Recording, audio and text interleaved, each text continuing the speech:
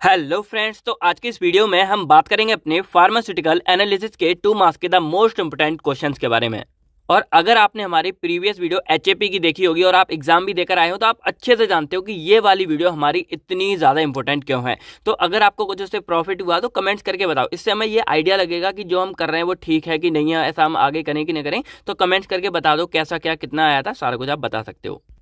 चलिए तो जो लोग न्यू हैं, जिनको इस वीडियो के बारे में नहीं पता, सोच रहे होंगे, इतनी बड़ी वीडियो हमारी कैसे क्या है तो उनको पहले हम थोड़ा सा इस वीडियो के बारे में बताते हैं कि ये इतनी इंपॉर्टेंट क्यों है और एग्ज़ाम में ये आपको पास कैसे कराएगी। तो देखो, आप लोग भी पता है कि सिलेबस ऑलमोस्ट कंप्लीट नहीं है और करते भी मतलब लोग भी ऐसा नहीं है कि सारा का सारा डन कंप्लीट करके पढ़ाई करते हैं लास्ट मोमेंट पर ही लोग पढ़ाई वगैरह करते हैं।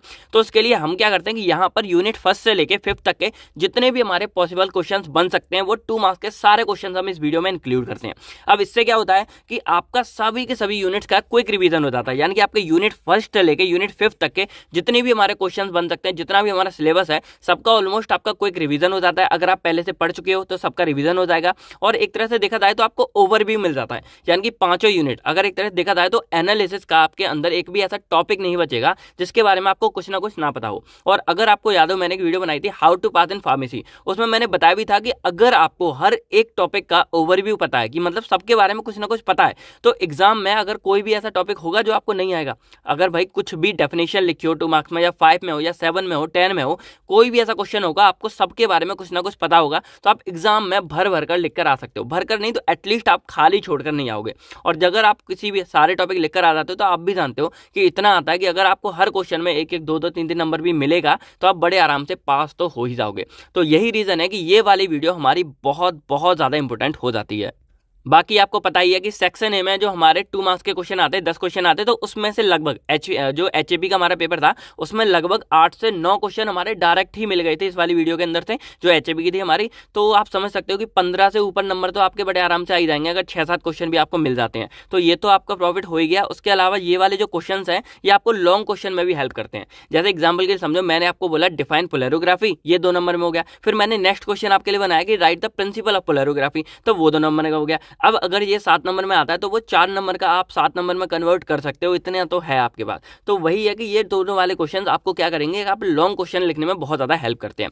तो ओवरऑल देखा जाए तो आज आपको फार्मास्यूटिकल एनालिसिस का एक कंप्लीट निचोड़ मिल जाएगा और हर किसी के बारे में आपको पता होगा कि इस एनालिसिस के अंदर क्या कैसे है और पास होने के लिए भी सारे मतलब इतना मोर देन इनफ होगा आपके लिए, ठीक है? बाकी इंपॉर्टेंट क्वेश्चन हमने बना ही दिए थे, अगर आपने वो वीडियो नहीं देखी हो, जाके देख लेना आप लोग। उसमें भी मैंने बता दिया था कौन कौन सी यूनिट इंपॉर्टेंट है, किसमें आपको ज़्यादा करना है, कौन से क्वेश्चन में ज़्यादा प्रेफरेंस देने हैं और एच के अंदर से बहुत ज़्यादा क्वेश्चन एचएपी के मतलब ए में फंसे भी थे तो ये मेनली ए में बहुत ज़्यादा हेल्प करती है वीडियो तो ए को तो आपको बिल्कुल भी ये वीडियो मिस नहीं करनी है।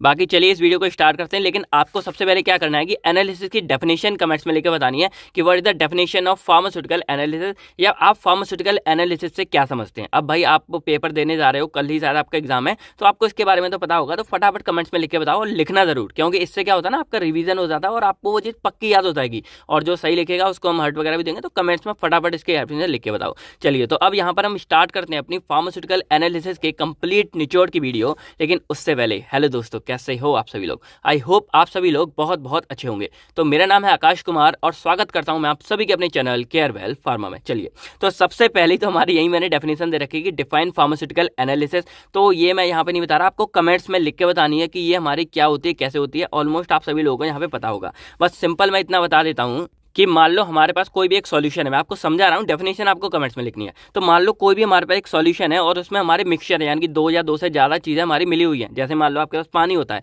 तो क्या पानी कभी प्योर फॉर्म में होता है? क्या पता उसमें कोई कॉन्टेमिनेशन हो, कोई इम्प्योरिटी हो, ऐसी बहुत सारी चीज़ें हो सकती हैं।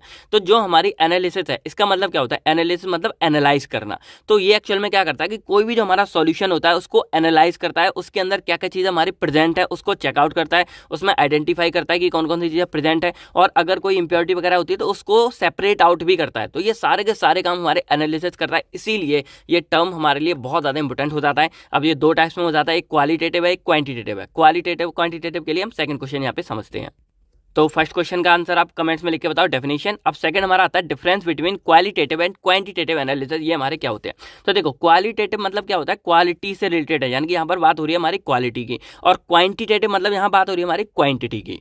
अब इसको ऐसे जस्ट छोटा सा एग्ज़ाम्पल लेके समझ लो। मान लो आप लोगों ने एप्पल तो खाया होगा सेब अब मान लो कि आप दो लोग हो, कोई कह रहा है, मैंने भाई चार या पाँच एप्पल खाए। लेकिन कोई कह रहा है, मैंने भाई एक एप्पल खाया, लेकिन मैंने बहुत क्वालिटी यानी कि बहुत ही बेस्ट एप्पल खाया।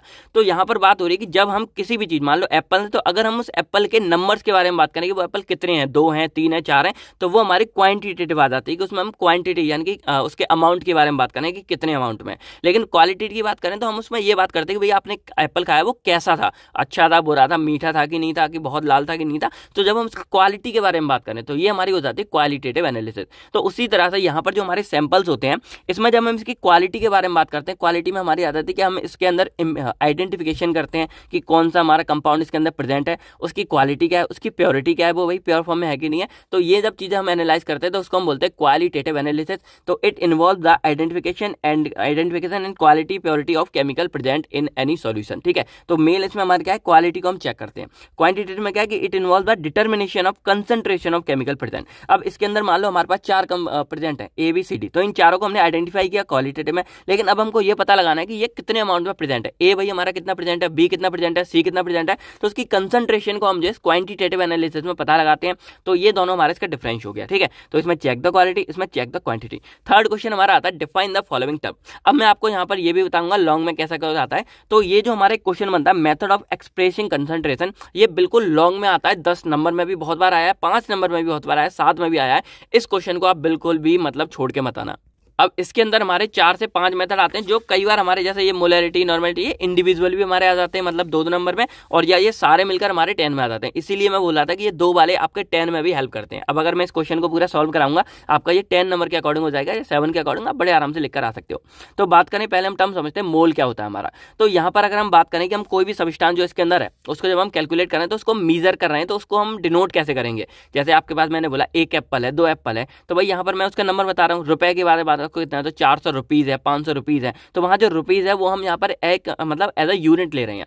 तो उसी तरह से जब हम यहाँ पर किसी भी सबिस्टांस की अमाउंट को कैलकुलेट करते हैं तो उनकी एक फंडामेंटल यूनिट होती है, जिसको हम मोल बोलते हैं। तो it is a fundamental unit which is use to measure the amount of substances किसी भी सॉल्यूशन के अंदर जब किसी सबिस्टांस को मीजर करते हैं तो उसकी एक फंडामेंटल यूनिट है, जिससे हम उसको डिनोट करते हैं। अब जैसे अगर आपने पढ़ा होगा तो one mole of an one mole of ये वन मोल ऑफ़ वो तो ऐसे करके आपने ये देखा होगा। ठीक है तो मोल आप समझ गए। अब बात करते हैं मोलरिटी की।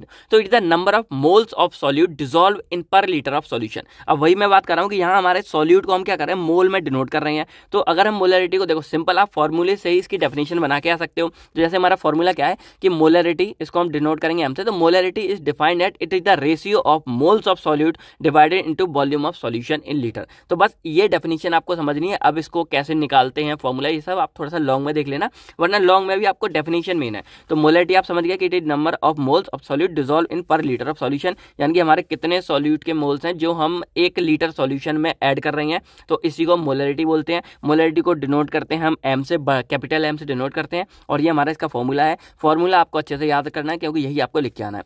सेकंड यहाँ पे आता है डिफाइन मोलैलिटी तो मोलैलिटी और मोलैरिटी में छोटे और बड़े का फ़र्क है। मोलैलिटी बड़ा भाई है मोलैलिटी हमारा छोटा भाई है। ठीक है? तो मोलैलिटी को हम क्या करते हैं it is define the number of moles of solute present in one K of solvent. अब इसमें क्या हो गया कि जो बड़ा भाई है, उसमें भाई वो लीटर में है। यानी कि एक तरह से लिक्विड फॉर्म में सॉल्यूशन फॉर्म में। और जो हमारा मोलैलिटी है, वो हमारा क्या है? सॉल्वेंट में और केजी फॉर्म में यानी कि यहाँ पर क्या हुआ? इन लीटर यहाँ पर क्या हुआ? इन केजी हो गया। तो मोलैलिटी को हम जो है denote by small M small M से डिनोट करते हैं। अब number of moles of solute solute के नंबर ऑफ़ मोल्स कितने हैं? Divided by mass of solvent in KG यानी कि यहाँ पर हम सॉल्वेंट के बारे में बात कर हैं और यहाँ पर हम सॉल्यूशन के बारे में बात कर हैं। अब सॉल्यूशन आप जानते हो सॉल्यूशन में सॉल्यूट प्लस सॉल्वेंट दोनों मिक्स होते हैं। लेकिन मोलैलिटी हम सिर्फ़ सॉल्वेंट के बारे में बात करें जो हमारा केजी में प्रेजेंट है। तो ये हमारा मोलैलिटी हो गया। नॉर्मेलिटी के बारे में बात करें तो कई बार ये थोड़ा सा मतलब अटपटा सा हो जाता है तो इसको टू मार्क्स में कई बार दे देते हैं। तो it is defined as the number of gram equivalent of the solute dissolve per litre of solute तो यहाँ पर क्या यहाँ भी बात हमारी सॉल्यूशन की हो रही है। अब ये हमारा ग्राम इक्विवेलेंट यहाँ पे हमको एक चीज़ निकालनी पड़ेगी।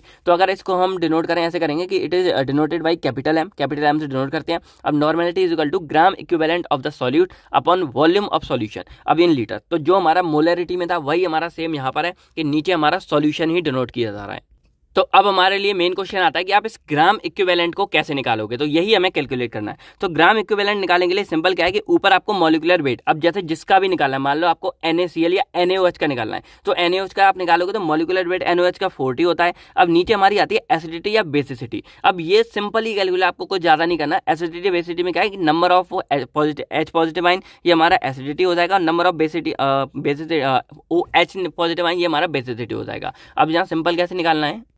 ओ एच पे हमारा नेगेटिव वाला चार्ज आता है सॉरी तो यहाँ पर जैसे मान लो मेरे पास ये एन है तो एन को अगर हम करेंगे तो N A positive plus O H negative ये आ जाता है. तो यहाँ पर देखा जाए तो ये पॉजिटिव आइन है, ये नेगेटिव आइन है. अब दोनों को हम देखेंगे तो सिर्फ़ हमारे पास एक प्रेजेंट है. तो यहाँ पर हम अगर हम एन की निकाले ग्राम इक्विवेलेंट तो क्या निकलेगा कि मोलिकुलर वेट हमारा फोर्टी है अपॉन नीचे हमारा एन में पॉजिटिव भी एक है. हमको किसी एक का लिखना होता है. ऐसा नहीं आपको दोनों को लिखना है, किसी एक का लिखना है. या एसिडिटी का निकलोगे या बेसिसिटी का निकलोगे तो अगर एसिडिटी भी ले लें तो यहाँ पर सिर्फ़ एक पॉजिटिव वाला चार्ज है तो हम यहाँ पर सिंपल एक लगा देते हैं। तो अगर देखा जाए तो एन का जो ग्राम इक्विवेलेंट वेट है, वो भी हमारा फोर्टी निकल के आ रहा है। तो इसी तरह, अगर यहाँ पे कोई और होगा, मान लो कैल्शियम हमारा टू पॉजिटिव हो गया तो यहाँ पर हमारा दो आइन हो जाएगा तो नीचे हमारा दो लग जाएगा। तो इस तरह आप यहाँ पर इसको कैलकुलेट कर सकते हो सिंपल ही है। बाकी नॉर्मेलिटी का ऊपर जो यहाँ वैल्यू निकले, वो ऊपर फिट कर दो, और नीचे volume of solution in litre जो भी निकल के आता है। तो इसके एक आध न्यूमेरिकल वगैरह आ जाता है तो उसकी आप प्रैक्टिस कर लेना, यहाँ मैंने नहीं कराया है। यहाँ मैंने सिंपल आपको डेफिनेशन वगैरह बताई है। अब यहाँ पे एक और आता है फॉर्मेलिटी तो it is defined that it is the number of gram formulation weight इधर हमारा ग्राम इक्विवेलेंट वेट था, यहाँ हमारा ग्राम फॉर्मुलेशन वेट था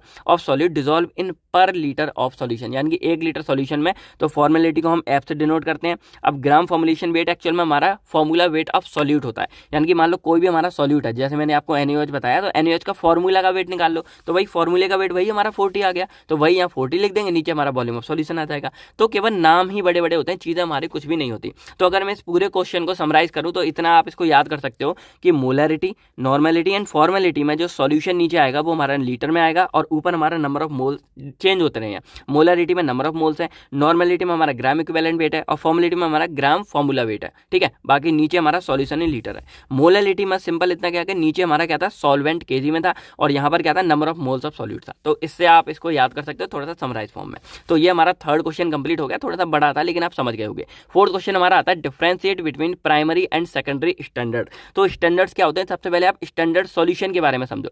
तो a solution which accurately known concentration and which is highly provides known as the standard solution अब जैसे आपको बताया कि जो हमारा ये होता है एनालिसिस होता है जनरल टर्म में समझ लो कि इसमें होता क्या है।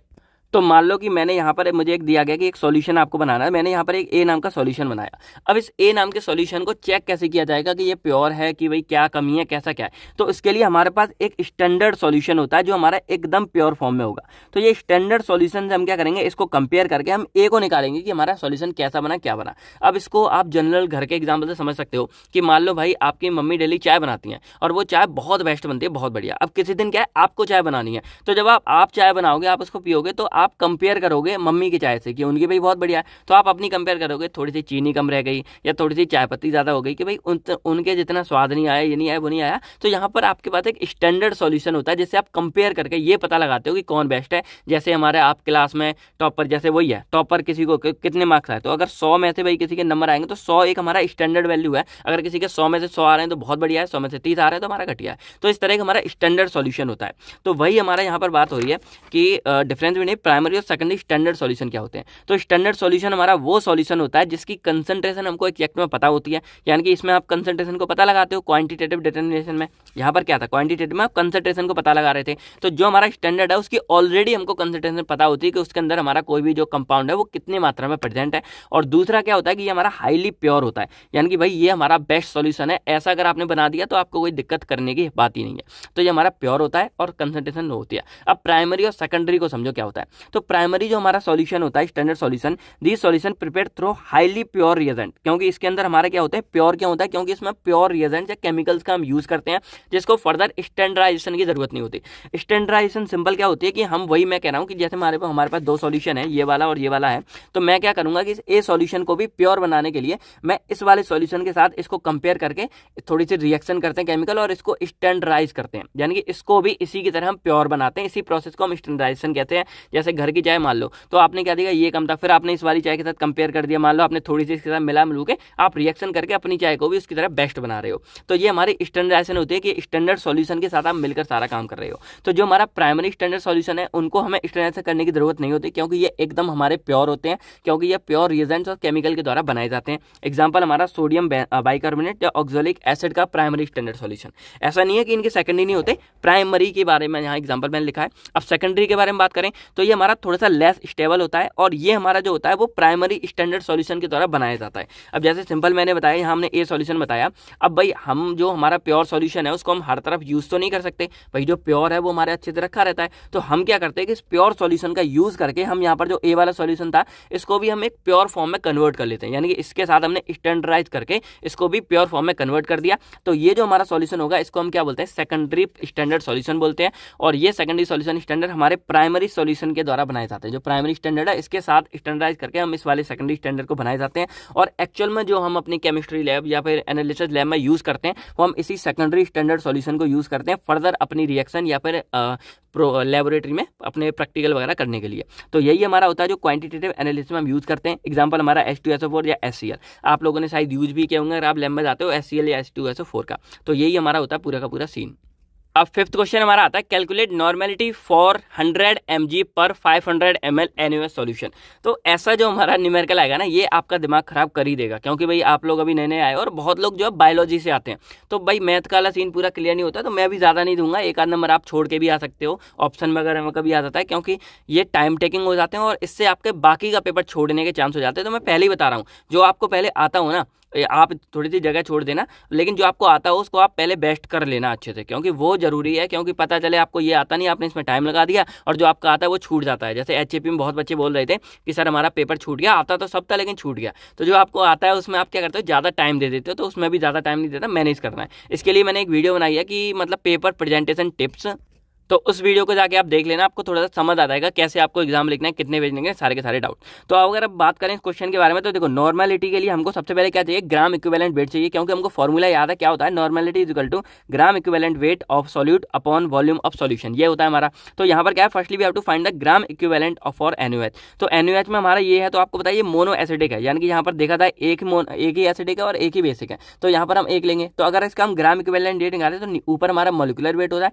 नीचे हमारा एसिडिटी या बेसिसिटी होती है। तो अगर इसको हम कैलकुलेट करेंगे तो हमारा फोर्टी आएगा, क्योंकि इसका जो मतलब मोलिकुलर वेट है वो फोर्टी है, नीचे बन है तो इससे कुछ नहीं तो हमारा ओवरऑल क्या आ जाएगा? फोर्टी आ जाएगा।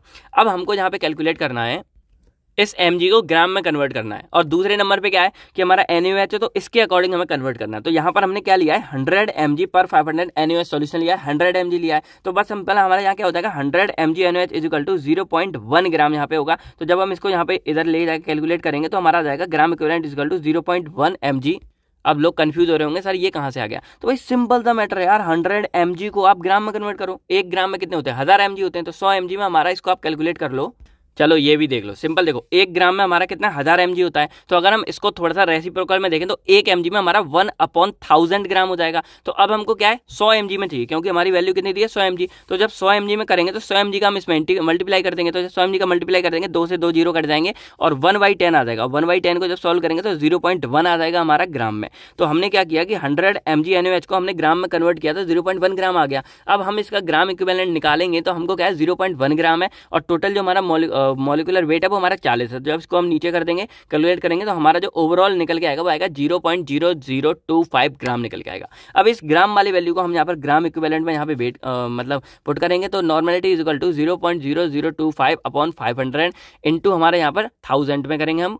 अब लोग सोच रहे होंगे थाउज़ेंड कहाँ से आ गया? तो भाई सिंपल सी बात है, ये हमारा क्या है? एम में है और एम को हमको क्या है? लीटर में कन्वर्ट करना है। तो नीचे हमने फाइव हंड्रेड लिख दिया, ऊपर हमें लीटर में कन्वर्ट करने के लिए हम थाउज़ेंड का मल्टीप्लाई कर देंगे और जब इसको पूरे को सॉल्व करेंगे, हमारी वैल्यू आएगी ज़ीरो इसको सॉल्व करेंगे ज़ीरो नॉर्मेलिटी तो ये हमारा इसका आंसर आ जाएगा। थोड़ा सा टिपिकल है कॉम्प्लिकेटेड है, पर देख लो, समझ पाओ, समझ लो, वरना थोड़ा सा ऐसे लिख के आ जाना वैल्यू थोड़ी बहुत चेंज करके। एग्ज़ाम में कई बार हो सकता है कि ये वाला भी सेम आता है तो आप इसको थोड़ा सा रट्टा भी लगा लो। तो बस सिंपल क्या करना है, कोई भी वैल्यू है, उसके पहले ग्राम इक्विवेलेंट निकालना है। ग्राम इक्विवेलेंट के लिए पहले ये वाला फॉर्मूला अप्लाई करना है, फिर उसके बाद हमारा जितना एमजी है, हमने ये तो भाई एक ग्राम हमने नॉर्मल एक ग्राम एन को किया, लेकिन हमें चालीस एम सॉरी हंड्रेड एम वाला चाहिए था तो उसके लिए हमने यहाँ पूरा फॉर्मूला इस तरह से कन्वर्ट करेंगे। देन ये वाली वैल्यू हम यहाँ पर पुट करेंगे, नीचे वॉल्यूम ऑफ़ सॉल्यूशन हमारा इसमें था, इसको हम लीटर में कन्वर्ट करेंगे देन हमारा ये आंसर यहाँ पे आ जाएगा। तो ये था हमारा क्वेश्चन नंबर फाइव अब हमारा आता है question number six how will you prepare zero point one N N solution for hundred M तो इसको भी छोड़ दो, क्योंकि न्यूमेरिकल मुझे पता आपको दिमाग में कंफ्यूज ही कर देंगे। आप चाहो तो खुद निकाल के देख सकते हो। मैंने डाल दिया कि हाँ एग्ज़ाम में आते हैं तो आप ये ना बोलो कि मैंने बताया नहीं था, ठीक है? तो इसको भी सिंपल आकर देख लो, क्या है कि why you prepare zero point one N N solution for hundred M L so hundred M L में आपको zero point one N N solution निकालना है। One zero point one N का मतलब क्या होता है? नॉर्मेलिटी होता है। तो नॉर्मेलिटी का फॉर्मूला क्या हमारा? Equivalent weight upon volume of solution अब इक्वेलेंट वेट हमारा एन एच का फोर्टी था, हमने ऊपर भी निकाल लिया था तो इसमें कोई एसिडिक बेसिक नहीं होता। तो यहाँ पर क्या है कि for one N solution take forty gram N यानी कि हम वन नॉर्मेलिटी सॉल्यूशन के लिए 40 ग्राम एनओएस लेते हैं। सो so, अगर हमको 0.1 एन सॉल्यूशन लेना है यानी कि वन नॉर्मेलिटी था लेकिन हमको यहाँ 0.1 सॉल्यूशन लेना है तो हमको यहाँ पर क्या है इसका हम क्या कर देंगे? हाफ़ कर देंगे टेन यहाँ पर एक पॉइंट करेंगे। तो हमारा आ जाएगा four gram NOH in one thousand M ठीक है? अब फोर ग्राम एनओएच हमारा वन थाउज़ेंड एम में आया लेकिन हमारा क्वेश्चन में कितना? हंड्रेड एम दिया तो अगेन हम यहाँ पर क्या करेंगे? टेन का दोनों तरफ़ मल्टीप्लाई करेंगे तो हमारा क्या जाएगा? ज़ीरो ग्राम आ जाएगा एनओएच सॉल्यूशन हम हंड्रेड एम के लिए लेंगे। तो बस सिंपल हम देखा था एक तरह से एक एक क्वांटिटी कम करते गए। कैसे? क्योंकि यहाँ पर अगर इस फॉर्मूले पुट करोगे तो जो नॉर्मेलिटी हमारी है वो वन थी यहाँ पर, ठीक है? तो वन के लिए हमारा इक्विवेलेंट वेट फोर्टी था। अब हमको क्या चाहिए? ज़ीरो पॉइंट वन के लिए चाहिए। तो ज़ीरो पॉइंट वन के लिए हम इसको ज़ीरो पॉइंट इधर वन करेंगे तो इधर भी एक आ जाएगा तो यहाँ पर क्या आ जाएगा? फोर आ जाएगा। अब ज़ीरो पॉइंट वन के लिए हमारा फोर ग्राम आ गया। ये फोर ग्राम हमारा थाउज़ेंड एम के लिए होता है, लेकिन हमको हंड्रेड के लिए चाहिए। तो अगेन हम क्या करेंगे? यहाँ से एक और ज़ीरो कम करेंगे ज़ीरो पॉइंट फोर ग्राम आ जाएगा। तो इस तरह आप समझ सकते हो। आप चाहो तो इसको कैलकुलेट कर लेना, देख लेना। हमारा एट्थ क्वेश्चन यहाँ पे आता है। Describe the fundamentals of volumetric analysis volumetric analysis क्या होता है? तो it is a quantitative analysis in which the amount of substance is determine by measuring the volume that is occupy अब वॉल्यूमेट्रिक एनालिसिस आप वॉल्यूम से समझ लो कि यहाँ पर क्या है कि क्वांटिटेटिव की बात हो रही है कि क्वांटिटी मीजर की जा रही है। कैसे की जा रही है? तो मान लो हमारे पास एक ये है, पूरा का पूरा फ्लास्क है। अब मुझे इसकी मैंने इसमें मान लो एक सॉल्यूशन भरा इतना। तो अब मुझे इसकी क्या करनी है? क्वांटिटेटिव एनालिस करनी है वॉल्यूमेट्रिक मेथड से। तो जब मैंने यहाँ पे इतना भर दिया तो ये जो हमारा वॉल्यूमेट्रिक फ्लास्क होता है, इसमें रीडिंग यहाँ पे लिखी होती है। तो जब यहाँ पे भरा, मान लो यहाँ पे लिखा है ट्वेंटी फाइव तो हम ऑटोमेटिक इस फ्लास्क की हेल्प से पता लगा सकते हैं कि कोई भी जो हमारा सोल्यूशन है, वो कितना है, कैसा है। तो बहुत ही सिंपल हमारा ये मेथड है। अब यहाँ एक क्वेश्चन आता है how to prepare zero point one N iodine solution अब ये आपको कमेंट्स में बताना है भाई, कोई अगर कर सके करो। मेरे पे तब रह गया था, उसके बाद चलो अब आगे देखते हैं, ठीक है? तो ये न्यूमेरिकल आप देख सकते हो। अब हमारा यहाँ पर टेंथ क्वेश्चन आता है डिफाइन एरर्स तो एरर्स में आपको करना है। तो पहले मैं आपको बता दूँ कि जो एरर्स वाला क्वेश्चन है, ये हमारा डिटेल्स में भी बहुत बार आया हुआ है। सोर्सेज ऑफ़ एरर आता है मिनिमाइज कैसे करेंगे एरर को? तो इस एरर के बारे में आप कंप्लीट जो है डिटेल्स अपनी पढ़ लेना। अब अगर एरर्स को हम डिफाइन करें तो it is the difference between the true और standard value and the observe value अब सिंपल आपको बताया कि मान लो हमारे पास जैसे मान लो कोई भी मैं यहाँ पर एक्सपेरिमेंट कर रहा था, मैं कोई चीज़ बना रहा था या कुछ भी कर रहा था तो यहाँ पर हमारे पास एक पहले से आंसर जैसे आप लोगों ने अगर मैथ कभी सॉल्व किया हो तो वहाँ पर यहाँ क्वेश्चन दिया होता है और लास्ट में आपके पेज के पीछे में आपका क्या लिखा होता है, उसका आंसर की होती है, उस आंसर की में आपके आंसर लिखे होते हैं। तो पहले आप यहाँ कैलकुलेट करोगे कैलकुलेट करने के लिए मान लो यहाँ आंसर की में आपका फोर्टी लिखा है किसी का आंसर आपने यहाँ कैलकुलेट करके निकाला कि आपका थर्टी निकल रहा है। ठीक है? तो ये हमारा क्या है? ऑब्ज़र्व वैल्यू जो आपने निकाली, ये हमारी स्टैंडर्ड वैल्यू की ये आंसर हमारा ठीक है। तो इस वाले जो आंसर ठीक है, उसमें से इस वाले जो निकाला हमने आंसर उसको जब हम माइनस करेंगे तो जो वैल्यू हमारी निकल के आई, उसको हम एरर बोलते हैं कि भाई ये गलती निकल के आई है, चार का डिफरेंस आ रहा है। तो हम यहाँ पर क्या बोलेंगे कि आंसर में चार का डिफरेंस आ रहा है तो चार का एरर हो गया। तो एरर एक्चुअल में हमारा कुछ नहीं है नन क्या है हमारा? कोई कमी है, कोई प्रॉब्लम है, कोई गलती निकल आई है तो उसी को हम एरर बोलते हैं। एरर मतलब क्या होता है? गलती होता है। तो इसको हम कैसे डिफाइन कर सकते हैं कि is the difference between the true और standard value and the observe value तो एरर को हम क्या करेंगे? कोई स्टैंडर्ड वैल्यू या कोई रियल वैल्यू है या कोई ट्रू वैल्यू है माइनस जो हमने ऑब्ज़र्व किया वो वैल्यू है, जब ये निकल के आ जाएगा तो हमको एरर निकल के आ जाएगा। अब परसेंटेज एरर को बस क्या करना है? जो हमारा standard value minus observe value upon standard value into hundred कर देंगे, हमारा परसेंटेज एरर निकल के आ जाएगा। अब इसको बिल्कुल देसी एग्ज़ाम्पल से समझना है। तो मान लो सिंपल क्या है? आप कहीं सब्ज़ी लेने गए या कुछ भी गए, आपने सौ रुपए का सामान खरीदा, आप थैले में भर के ले आए सब्ज़ी, घर आके आप देख रहे हो कि आपके रुपए तो पूरे सौ चले गए, लेकिन जो सामान को आप कैलकुलेट कर रहे हो तो वो पूरा सौ का नहीं है, वो पिचानवे, नब्बे, ऐसा निकल रहा है। तो जो पाँच रुपये का आपका डिफरेंस आ रहा है, वो एक तरह से आपका एरर हो जाएगा। तो यही हमारा एरर हो गया। ठीक है डिटेल्स में आप लोग पढ़ लेना। अब यहाँ कुछ टर्म्स हमारे आते हैं, इनको डिफाइन करना है कि accuracy precision and significant figure क्या होते हैं। तो एक्यूरेसी को सिंपल डिफाइन कर सकते हैं कि it is the degree of closeness between our measurement and its true value या इसको हम सिंपल बोल सकते हैं कि it is how close a given set of measurement to their true value अब मान लो यहाँ पर हमारे पास पाँच वैल्यू है। अब मुझे पता है कि यहाँ पर जो ट्रू वैल्यू है, यानी कि जो एक्चुअल में स्टैंडर्ड वैल्यू थी, जैसे मैंने आंसर की वाला आपको एग्ज़ाम्पल देकर समझाया था, वो हमारी मान लो ज़ीरो है। लेकिन जब मैं बार बार ऑब्जर्वेशन कर रहा हूँ बार बार कोई एक्सपेरिमेंट कर रहा हूँ तो मेरी वैल्यू ये निकल के आ रही है zero point three zero point four zero point six zero point four five तो यहाँ पर जो एक्यूरेसी होती है, वो हमारी वो वैल्यू होती है कि वो हमारी ट्रू वैल्यू से कितनी ज़्यादा कनेक्ट है, कितनी ज़्यादा पास है। तो यहाँ पर अगर देखा जाए तो ज़ीरो पॉइंट फाइव के सबसे पास कौन सी ज़ीरो पॉइंट फोर फाइव है। तो ये एक्चुअल में हमारी क्या हो जाएगी? एक्यूरेसी हो जाएगी इस पूरे डाटा की कि हमारा ये एक्यूरेसी यहाँ पर है, पूरे डाटा की। तो ये हमारी एक्यूरेसी होती है कि कोई चीज़ हमारी किसी भी डाटा के कितने पास है ट्रू वैल्यू के। प्रीसीजन क्या होता है कि it is a degree of closeness of a measurement with each other यानी कि यहाँ पर क्या है कि मान लो मेरे पास ये पाँच छह वैल्यू मैंने निकाली है, अब इसमें ट्रू वैल्यू मेरी वही ज़ीरो पॉइंट फाइव थी। तो इस ट्रू वैल्यू के पास की वैल्यू ना देखें, हम ये देखेंगे कौन सी वैल्यू बार बार हमारी आ रही है। जैसे एग्ज़ाम्पल देखो zero point three zero point four zero point four zero point five zero point four five zero point six zero point four तो अगर यहाँ पर आप देखोगे तो एक्यूरेसी के अकॉर्डिंग हमारे यहाँ ज़ीरो पॉइंट फोर फाइव इसके साथ सबसे ज़्यादा पास है तो एक्यूरेसी ये हो जाएगी। लेकिन वैसे अगर हम देखें प्रीसीजन में तो zero point four zero point four और ज़ीरो पॉइंट फोर ये हमारा तीन बार आया तो एक्चुअल में हमारी जो यहाँ पर प्री सीज़न हो जाएगी, वो हमारी हो जाएगी ज़ीरो पॉइंट फोर की ये वैल्यू बार बार आ रही है तो हो सकता है कि भाई हमारा ज़ीरो पॉइंट फाइव ना होगा ज़ीरो पॉइंट फोर हमारा करेक्ट आंसर हो। तो इसीलिए हम प्रिसीजन को यहाँ बोलते हैं कि ये डिग्री ऑफ़ क्लोजनेस होती है विद ईच अदर जो मेजरमेंट्स हमारे निकले हैं, वो आपस में कितने पास हैं, उसके अकॉर्डिंग हो जाता है। और ये एक्यूरेसी हमारी जो ट्रू वैल्यू उसके कितने पास है, वो हमारी एक्यूरेसी जाती है। ये दोनों का डिफरेंस आप अच्छे समझ गए हुए सिग्निफिकेंट फिगर के बारे में बात करें तो सिंपल कोई भी हमारे जो पॉइंट्स होते हैं, उसमें टोटल नंबर ऑफ़ कितने हमारे फिगर्स प्रेजेंट है, उसी को हम सिग्निफिकेंट फिगर बोलते हैं।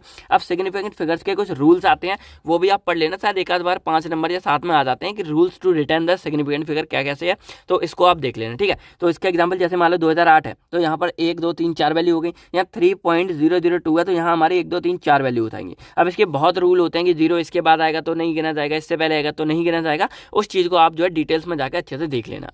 अब हमारा ट्वेल्थ क्वेश्चन आता है डिफाइन लिमिट टेक्स्ट तो लिमिट टेक्स्ट को आपको डिफाइन करना है। तो these are the qualitative and semi qualitative text design to identify and control the impurity which is like present in the substance और सॉल्यूशन अब जैसे मैंने आपको यहाँ सिंपल बताया कि ये लिमिट टेक्स्ट जो हमारा होता है, वो क्वालिटेटिव और सेमी क्वालिटेटिव यानी कि ओवरऑल देखा जाए तो हमारी जो मान लो ये हमने एक हमारा स्टैंडर्ड सॉल्यूशन है और ए सॉल्यूशन मैंने यहाँ पर बनाया है। तो इस ए सॉल्यूशन की हम क्वालिटी को ही ओवरऑल चेक करते हैं इस लिमिट टेस्ट के अंदर कि जो हमने ये सॉल्यूशन बनाया, वो हमारा कितना बेस्ट है, कितना अच्छा है, कितना कैसा बनाए तो इसको हम चेक कैसे करते हैं? तो सिंपल हम क्या करते हैं कि इस वाले कंपाउंड के अंदर हम इम्प्योरिटी को चेक कर लेते हैं।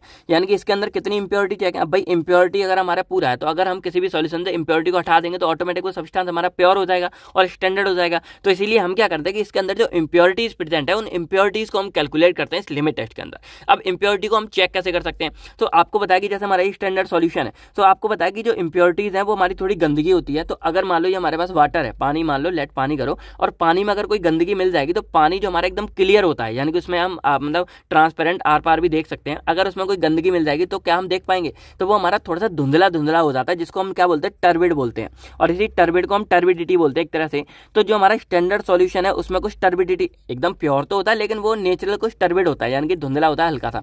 तो जो हमने यहाँ पर टेस्ट सोल्यूशन अपना तैयार किया है, जिसमें इंप्योरिटी हमारा हो सकती है तो उसको हम क्या करेंगे? स्टैंडर्ड के साथ कंपेयर करते हैं कैसे? उसकी टर्बिडिटी को चेक करके कि अगर हमारा जो ये वाला सोल्यूशन है, ये हमारा इससे कम टर्बिड है। तो समझ लो कि हमारा ये सॉल्यूशन बेस्ट है, एकदम बेस्ट है। इसके जितना भी है तो हमारा ठीक ठाक है मतलब अच्छा है। और इससे ज़्यादा टर्बिड है, यानी कि जो टेस्ट सॉल्यूशन है, इसमें इंप्योरिटी ज़्यादा, जितनी ज़्यादा इंप्योरिटी उतना ज़्यादा हमारा कोई समझा टर्बिड होगा, यानी कि धुंधला होगा। तो अगर हम इसकी इंप्योरिटी को चेक करते हैं कैसे उसकी हम टर्बिडिटी को कंपेयर कर देते हैं स्टैंडर्ड के साथ में। अब टर्बिडिटी हमारी अगर बिल्कुल ही कम आती है तो हमारा वो टेस्ट सॉल्यूशन हमारा स्टैंडर्ड के जैसे बढ़िया बन जाता है। तो इसके एग्ज़ाम्पल हमारे लिमिट टेस्ट ऑफ़ क्लोराइड है आर्सेनिक है। अब मैं आपको पहले ही बता दूँ कि जो हमारा आर्सेनिक वाला लिमिट टेस्ट है, वो हमारे लिए बहुत बहुत इंपॉर्टेंट है। एग्ज़ाम में हमारा आ जाता है। इनऑर्गेनिक में हमारा वैसे मोस्टली टाइम आ जाता है। यहाँ पर हमारी डेफिनेशन वगैरह ही आ सकती है तो ये चीज़ आप देख लेना, ठीक है? बाकी हुआ तो कभी आ जाता है एनालिसिस में। अगर आता भी है तो आप जो है इनऑर्गेनिक में अच्छे से इसको पढ़ चुके हो। थर्टीन क्वेश्चन हमारा आता है define acid and base as per Arrhenius theory तो आरहेनियस थ्योरी के अकॉर्डिंग आपको एसिड एंड बेस बताने हैं। और अगर ऑफिशियल देखा जाए तो अब हमारी जो है यूनिट सेकंड स्टार्ट हो चुके हैं। यूनिट फ़र्स्ट काम ओवरऑल सारे के सारे कंप्लीट कर चुके हैं। तो यूनिट सेकंड का पहला हमारा क्या है कि एसिड और बेस आपको डिफाइन करने आर्यनियस थ्योरी के अकॉर्डिंग तो अकॉर्डिंग टू आर्यनियस हमारे साइंटिस्ट है, उनके अकॉर्डिंग क्या है? कि अगर कोई हमारा ऐसा सब्सटेंस है जो हमारा एच पॉजिटिव आइन को रिलीज़ कर रहा है, यानी कि दे रहा है तो वो हमारा क्या हो जाएगा?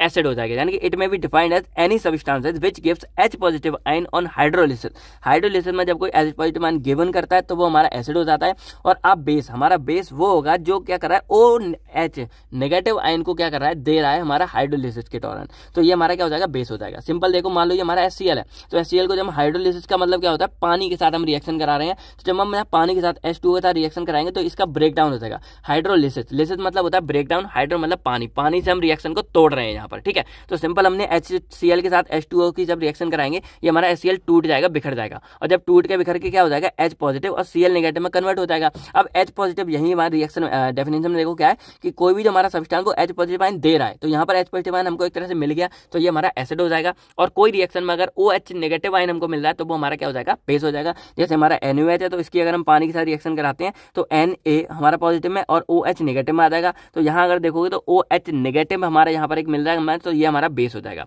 तो एस हमारा एक एसिड है और एन हमारा एक बेस है, ये आप पहले से जानते हो। तो ये हमारा इसका कंसेप्ट हो गया क्लियर अब हमारा फोर्टीन आता है write about the acid base indicator तो एसिड बेस इंडिकेटर के बारे में आपको बताना है।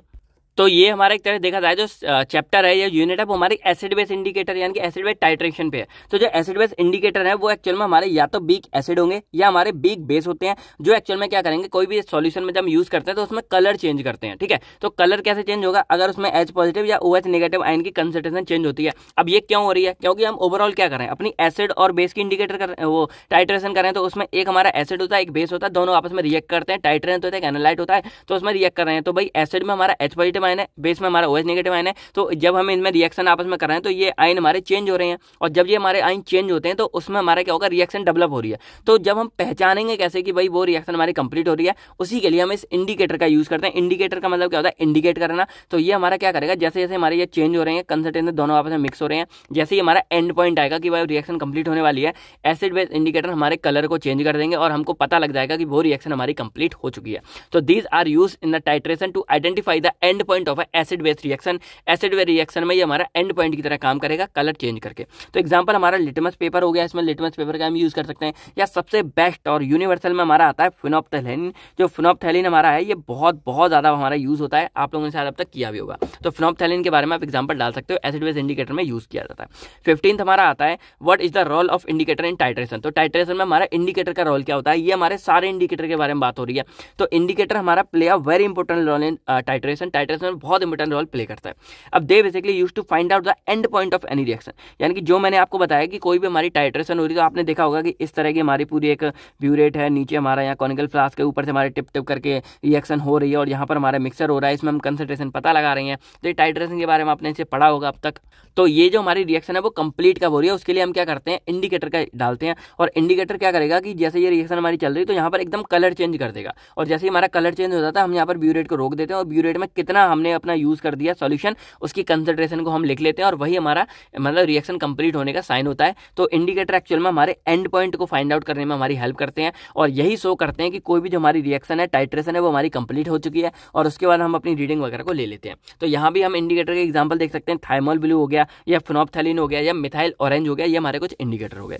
सिक्सटीन क्वेश्चन हमारा आता है how phenolphthalein behave in acidic and basic medium तो फिनोपथेलिन हमारा एक यूनिवर्सल इंडिकेटर है जो हमारा हर तरफ़ यूज़ करते हैं। तो एसिडिक मीडियम में अगर हम यूज़ करें और बेसिक मीडियम में यूज़ करें तो ये क्या काम करता है? तो देखा जाए ओवरऑल तो फ्नॉपथैलिन एक हमारा कलरलेस बीक एसिड सब्सटेंसेस है, जो एज अ इंडिकेटर हम यूज़ करते हैं एंड वन फाइंड आउट करने के लिए। अब एसिडिक मीडियम में ये हमारा क्या करेगा कि ये कलरलेस टर्न कर देता है। मान लो कोई भी सोल्यूशन है, वो एसिडिक है तो एसिडिक होगा तो उसका जो भी कलर होगा वो एकदम कलरलेस जैसे हम इसको डालेंगे कलरलेस हो जाएगा एंड पॉइंट आते ही। लेकिन जो बेसिक मीडियम है तो उसमें क्या होगा कि जो हमारा सोल्यूशन है, वो पिंक कलर में हमारा कन्वर्ट हो जाएगा। अब ये कैसे होता है, इसके अंदर रिएक्शन थी, मैंने जस्ट आपको बता दिया, दो नंबर के अकॉर्डिंग तो एसिडिक मीडियम में कलरलेस हो जाता है बेसिक मीडियम में हमारा फिनोप्थलिन पिंक कलर का हो जाता है।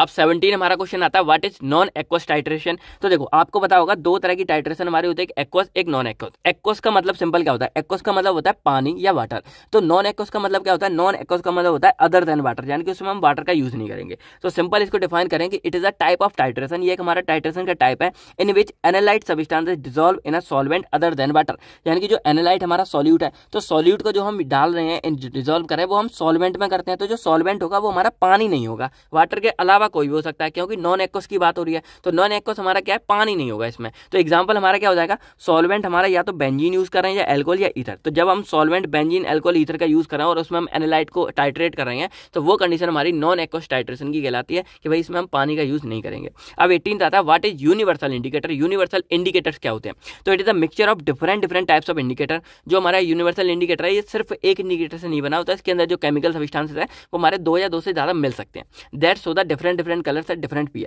तो ये हमारा क्या करता है? अलग अलग कंडीशन में सबके लिए हम एक्चुअल में इसको यूज़ कर सकते हैं। यूनिवर्सल का मतलब ही होता है सदाबहार, कि यानी कि ये हम हर एक, यानी कि हर एक रिएक्शन में हम इसको यूज़ कर सकते हैं, और हमें कोई भी इसकी टेंशन लेने की बात नहीं है। तो एग्ज़ाम्पल हमारा क्या होता है? पीएच इंडिकेटर हो गया। तो आपको पता है पीएच इंडिकेटर हमको क्या, कोई भी सॉल्यूशन में हम यूज़ कर सकते हैं, हमको पीएच पता लग जाएगी, और हम उसको पता लगा सकते हैं वो एसिड है कि बेसिक है। उसके अलावा हमारा मिथाइल रेड हो गया या फिनोप्थलिन हो गए, ये भी हमारे कुछ इंडिकेटर है, मैंने आपको पहले ही बताया था फिनोप्थलिन तो ये हमारा इंडिकेटर जो यूनिवर्सल इंडिकेटर में आता है बस डेफिनेशन क्या है it is a mixture of different different types of indicator that so the different colour and that's use in any solution तो ये लाइन भी आप चाहो ऐड कर सकते हो, दो नंबर के अकॉर्डिंग आपकी हो जाएगी। अब नाइनटीन हमारा आता है व्हाट इज़ पीएच पीएच हमारा क्या होता है? तो पीएच की जो हमारी फुल फॉर्म होती है, वो हमारी होती है पावर ऑफ़ हाइड्रोजन जहाँ हम इसको बोल सकते हैं पोटेंशियल ऑफ़ हाइड्रोजन ठीक है? वैसे मैंने आप लोगों से पूछना था पीएच की डेफिनेशन क्या चलो खुद ही बता दिया। तो लेकिन आपको एनालिसिस की डेफिनेशन कमेंट्स में लिख के बतानी है, नहीं लिखी तो अभी जाओ, फटाफट लिख कर आओ आप लोग। तो it is defined at it is the negative logarithm of H positive ion मतलब सिंपल अगर देखें तो ये जो हमारा पीएच होता है, ये हमारा नेगेटिव लॉगरिथम होता है एच पॉजिटिव आइन का। अगर आप यहाँ देखोगे तो pH is equal to minus logarithm of H positive ion अब कमेंट्स में आपको चलो डेफिनेशन नहीं, लेकिन फुल फॉर्म नहीं, लेकिन ये लिख के बताना है कि जो हमारा पीएच है, इसकी जो एक रेंज होती है ज़ीरो से लेकर हमारी फोर्टीन तक तो किस रेंज में ये एसिडिक होता है, किस रेंज में ये बेसिक होता है ज़ीरो से सेवन सेवन से फोर्टीन तो कहाँ एसिडिक है, कहाँ बेसिक है, कहाँ न्यूट्रल है, ये चीज़ आपको क्या करनी है कमेंट्स में लिख के बतानी है। अभी जाओ, फटाफट लिख के आओ। बाकी इसको हम और डिफाइन कैसे कर सकते हैं कि it is the measure of how acidic और बेसिक का सॉल्यूशन ये मैंने छुपाने के लिए लिखा है। तो बेसिक और एसिडिक कोई सॉल्यूशन हमारा कितना है, उस चीज़ को भी हम इस पीएच की मदद से ही मीजर करते हैं। चलो आप लोग कॉल लगाते हैं। हेलो तो अब हमारा यहाँ आता है क्वेश्चन नंबर ट्वेंटी तो इसमें हमारे सॉल्वेंट के बारे में बात हो रही है प्रोटोजेनिक एंड फोटोजेनिक सॉल्वेंट्स हमारे क्या कैसे होते हैं? वैसे आप लोगों ने ये फ़ोन यूज़ किया हो तो कमेंट से ज़रूर बताना, मैं आज भी करता हूँ। तो प्रोटोजेनिक सॉल्वेंट्स के बारे में अगर बात करें तो these are more acidic solvents and have ability to generate protein proton यानी कि ये नॉन एक्व जो हमारे एक तरह सॉल्वेंट है, उसके अंदर ये हमारे टाइप्स में आ जाता है और ये क्वेश्चन हमारे डिटेल्स में आता है। मैं आपको अभी बता रहा हूँ कि what the uses of solvent या write the types of solvent use in non aqueous titration तो ये वाला क्वेश्चन है कि नॉन एक्वस टाइट्रेशन में कौन कौन से सॉल्वेंट्स यूज़ किए जाते हैं। चार पाँच तरीके होते हैं हमारे एम्पोफिलिक ये वाले होते हैं। मैंने दो को यहाँ डिफाइन किया है। चारों को आप अच्छे से पढ़ लेना डिटेल्स में हमारा आ जाता है, ठीक है? तो यहाँ पे अगर हम प्रोटोजेनिक और प्रोटोफिलिक को यूज़ करें तो प्रोटोजेनिक मतलब क्या है? यहाँ पर प्रोटोन वर्ड आप क्या समझे प्रोटोन जेनिक जेनिक मतलब जनरेट करना एक तरह से। देखो, नाम से आपको सारी कहानी मिल जाएगी प्रोटो से प्रोटोन और जेनिक से मतलब जनरेट करना। तो these are more acidic solvent ये हमारे थोड़े से एसिडिक सॉल्वेंट होते हैं, जिनमें ये एबिलिटी होती है कि वो प्रोटोन को जनरेट कर सकते हैं। तो they have ability to generate proton proton को जनरेट कर सकते हैं। एग्ज़ाम्पल हमारा एसिडिक एसिड या फिर फोर हो गया। अब प्रोटोफिलिक के बारे में बात करें तो प्रोटोफिलिक, प्रोटोन यहाँ पर एक तरह से क्या है, फिलिक मतलब होता है लविंग। तो जब कोई चीज़ हमारी प्यार करती है तो वो क्या कर रही है? एक्सेप्ट कर रही है, यानी कि मांगेगी प्रोटोन को। तो वही है कि ये हमारे क्या होते हैं? लेस स्टेबल सॉल्वेंट होते हैं and ability to accept proton यानी कि फोटोजेनिक प्रोटोजेनिक जेनिक मतलब जनरेट कर रहे हैं ये हमारे, और फोटोफिलिक फिलिक मतलब होता है लविंग तो ये हमारे प्रोटोन को एक्सेप्ट कर रहे हैं। तो these they have ability to accept protein proton sorry तो ये हमारे प्रोटोफिलिक सॉल्वेंट हो जाते हैं। एग्ज़ाम्पल हमारा वाटर एल्कोहल या लिक्विड अमोनिया हो जाता है। अब यहाँ पर हम बात करेंगे what is levelling and differentiating effect तो ये वाला इफ़ेक्ट भी हमारे सॉल्वेंट के अंदर आता है। देखो नॉन एक्व से बहुत सारे क्वेश्चन बन के आ जाते हैं। तो इन लेबलिंग सॉल्वेंट में क्या हो रहा है कि when the acid are dissolve in water जब हमारा कोई भी एसिड पानी के अंदर डिजोल्व किया जा रहा है तो वो हमारा कंप्लीटली डिसोसिएट हो जाता है। तो यही इफ़ेक्ट हमारा लेवलिंग इफ़ेक्ट या लेवलिंग सॉल्वेंट बोलते हैं। कि यहाँ पर क्या हो रहा है कि जब हम किसी भी एसिड को वाटर के अंदर डिजोल्व करें तो वो अगर हमारा कंप्लीटली डिजोल्व हो जाता है तो ये चीज़ हमारी लेवलिंग सॉल्वेंट या लेवलिंग इफ़ेक्ट कहलाती है। एग्ज़ाम्पल जैसे एस को अगर हम पानी के साथ डिजोल्व कर रहे हैं तो एस पॉजिटिव और सी नेगेटिव इसमें ये हमारा कन्वर्ट हो जाता है और ये कंप्लीटली हमारा डन हो चुका है, ठीक है? यही हमारा हो गया। बाकी एस थ्री ओ को हम क्या बोलते हैं? एस टू हमारा पानी हो गया, लेकिन एस थ्री ओ वाटर हमारा क्या है, इसको क्या बोलेंगे, ये आप कमेंट्स में लिख के बताओ। अब यहाँ पर एक और आता है लेवलिंग आप समझ गए कि एसिड को हमने डिजोल्व किया, पानी के साथ हमारा ये डिसोसिएट हो गया। लेकिन जो डिफ्रेंशिएटिंग सॉल्वेंट है, इसमें क्या हो रहा है कि इसमें भी जब हम एसिड को पानी के साथ डिजोल्व करते हैं तो वो कंप्लीटली ना होकर पार्शियली डिसोसिएट हो जाता है। पार्शियली मतलब कम कम हुआ है, पूरा अच्छी तरह से डिसोसिएट नहीं हुआ है। तो इसका एग्ज़ाम्पल क्या है? C S three C O acetic acid plus water को जब हम एसिटिक एसिड को पानी में डिजोल्व करेंगे, वैसे जो हमारा एसिटिक एसिड है, वो हमारा बीक एसिड होता है तो ये मोली मेनली हमारा बीक एसिड के साथ होता है। तो जब हम इसको क्या रिएक्ट करते हैं तो हमारा एस थ्री ओ पॉजिटिव बनेगा और इधर हमारा C S three C O O negative बनेगा। और यहाँ पर आपको ये साइन दिख रहा होगा मतलब क्या ये पार्शियली डिसोसिएट है मतलब ये फिर से हमारा इस वाली कंडीशन में जा सकता है, इसीलिए दोनों साइन मैंने यहाँ लगा रखे हैं। तो जो लेवलिंग इफ़ेक्ट है, इसमें हमारा कंप्लीटली डिसोसिएट होगा। अब ये हमारा इंटरचेंजेबल नहीं है रिवर्सेबल नहीं है, लेकिन ये हमारा रिवर्सेबल है, क्योंकि ये चेंज हो गया, लेकिन पार्शियली हुआ है तो ये वापस इस कंडीशन में भी आ सकता है। अब यहाँ ट्वेंटी आता है डिफाइन न्यूट्रलाइजेशन कर्व तो न्यूट्रलाइजेशन कर्व अगर आप नाम से समझोगे न्यूट्रलाइजेशन मतलब क्या है? न्यूट्रल हो रही है कोई चीज़ यहाँ पर। तो न्यूट्रल होने का मतलब क्या है कि it is a chemical reaction where an acid and a base react with each other quantitatively and the curve form are known as a neutralisation curve यानी कि यहाँ पर क्या हो रहा है कि जो एसिड बेस रिएक्शन थी, उसमें जो हमारा एसिड है, वो बेस के साथ रिएक्ट कर रहा है। तो जब एसिड बेस के साथ रिएक्ट करेगा तो भाई न्यूट्रल हो जाएगा, क्योंकि दोनों एक दूसरे को क्या करेंगे? कट करेंगे इफ़ेक्ट को कम करेंगे। तो जब ये हमारे एक दूसरे साथ रिएक्ट करते हैं तो ये क्वांटिटेटिवली ईच अदर क्या कर देते हैं? न्यूट्रलाइज कर देते हैं और इसीलिए इसको हम न्यूट्रलाइजेशन बोलते हैं। अब साथ में इस जो जो होता है तो इस कांड में क्या होता है? कर्व फॉर्म होता है, उसी कर्व को हम क्या बोलते हैं? न्यूट्रलाइजेशन कर्व बोलते हैं। अब ये जो कर्व है, ये हमारा चार तरीके का होता है। वैसे ये डिटेल इतना आपके लिए मोर देन पे आप लिख के आ जाओगे, लेकिन मैं आपको समझा रहा हूँ जिससे थोड़ा सा मैं आपको एक्स्ट्रा ही समझा रहा हूँ। जिससे आपके लॉन्ग क्वेश्चन में ये चीज़ हेल्प करें, और हमारा मेन काम तो आपका क्विक रिवीजन है। टू मार्क्स के क्वेश्चन तो साथ में हो रहे हैं, लेकिन क्विक रिवीजन मेन है। तो यहाँ पे इस तरह का आपको एक ग्राफ बनाना है। अब इसमें चार कंडीशन है। सबसे पहली कंडीशन समझो strong acid and strong base वाली। तो ये ब्लू लाइन आपको जो दिख रही है, ये हमारा सीधा लाइन है। तो यहाँ से ये ब्लू लाइन चलेगी हमारे, इधर जाकर और ऐसे जा रही है। तो ये जो हमारा कर बन रहा है, इसको हम strong acid and strong base यानी कि जब स्ट्रॉन्ग एसिड और स्ट्रॉन्ग बेस आपस में रिएक्ट करते हैं तो ये वाला कर्व हमारा जनरेट होगा। सेकंड नंबर पे हमारे यहाँ आता है जब हमारा स्ट्रॉन्ग एसिड हमारा बीक बेस के साथ, यानी कि पहले स्ट्रॉन्ग एसिड ने स्ट्रॉन्ग बेस के साथ किया तो ये वाला कर्व बना, देखो ब्लू कलर में जो है। फिर स्ट्रॉन्ग एसिड ने जब बीक बेस के साथ किया तो जो ब्लैक कलर का आपको दिख रहा है, ये वाला देखो, ये जा रही है ना, ये वाली लाइन यहाँ जा रही है। तो ये हमारा strong acid and weak base का हो गया। थर्ड हम जब बीक एसिड हमने जब देखो, दोनों स्ट्रॉन्ग यूज़ कर लिया अब हम जो अपने बीक एसिड को यूज़ करेंगे तो जब बीक एसिड को हम स्ट्रॉन्ग बेस के साथ यूज़ करते हैं तो ये रेड कलर का आपको ये ग्राफ देख रहा कर्व ये वाला हमारा फॉर्म होगा। और एट लास्ट में हम क्या करेंगे बीक एसिड का बीक बेस के साथ करेंगे। तो जो पेंसिल कलर का आपको दिख रहा है, ये दिख रहा है। तो मैंने पेंसिल से इसीलिए बनाया कि यही दोनों चीज़ें इसमें बी के हमारा तो पेंसिल से ही बन पाएगा।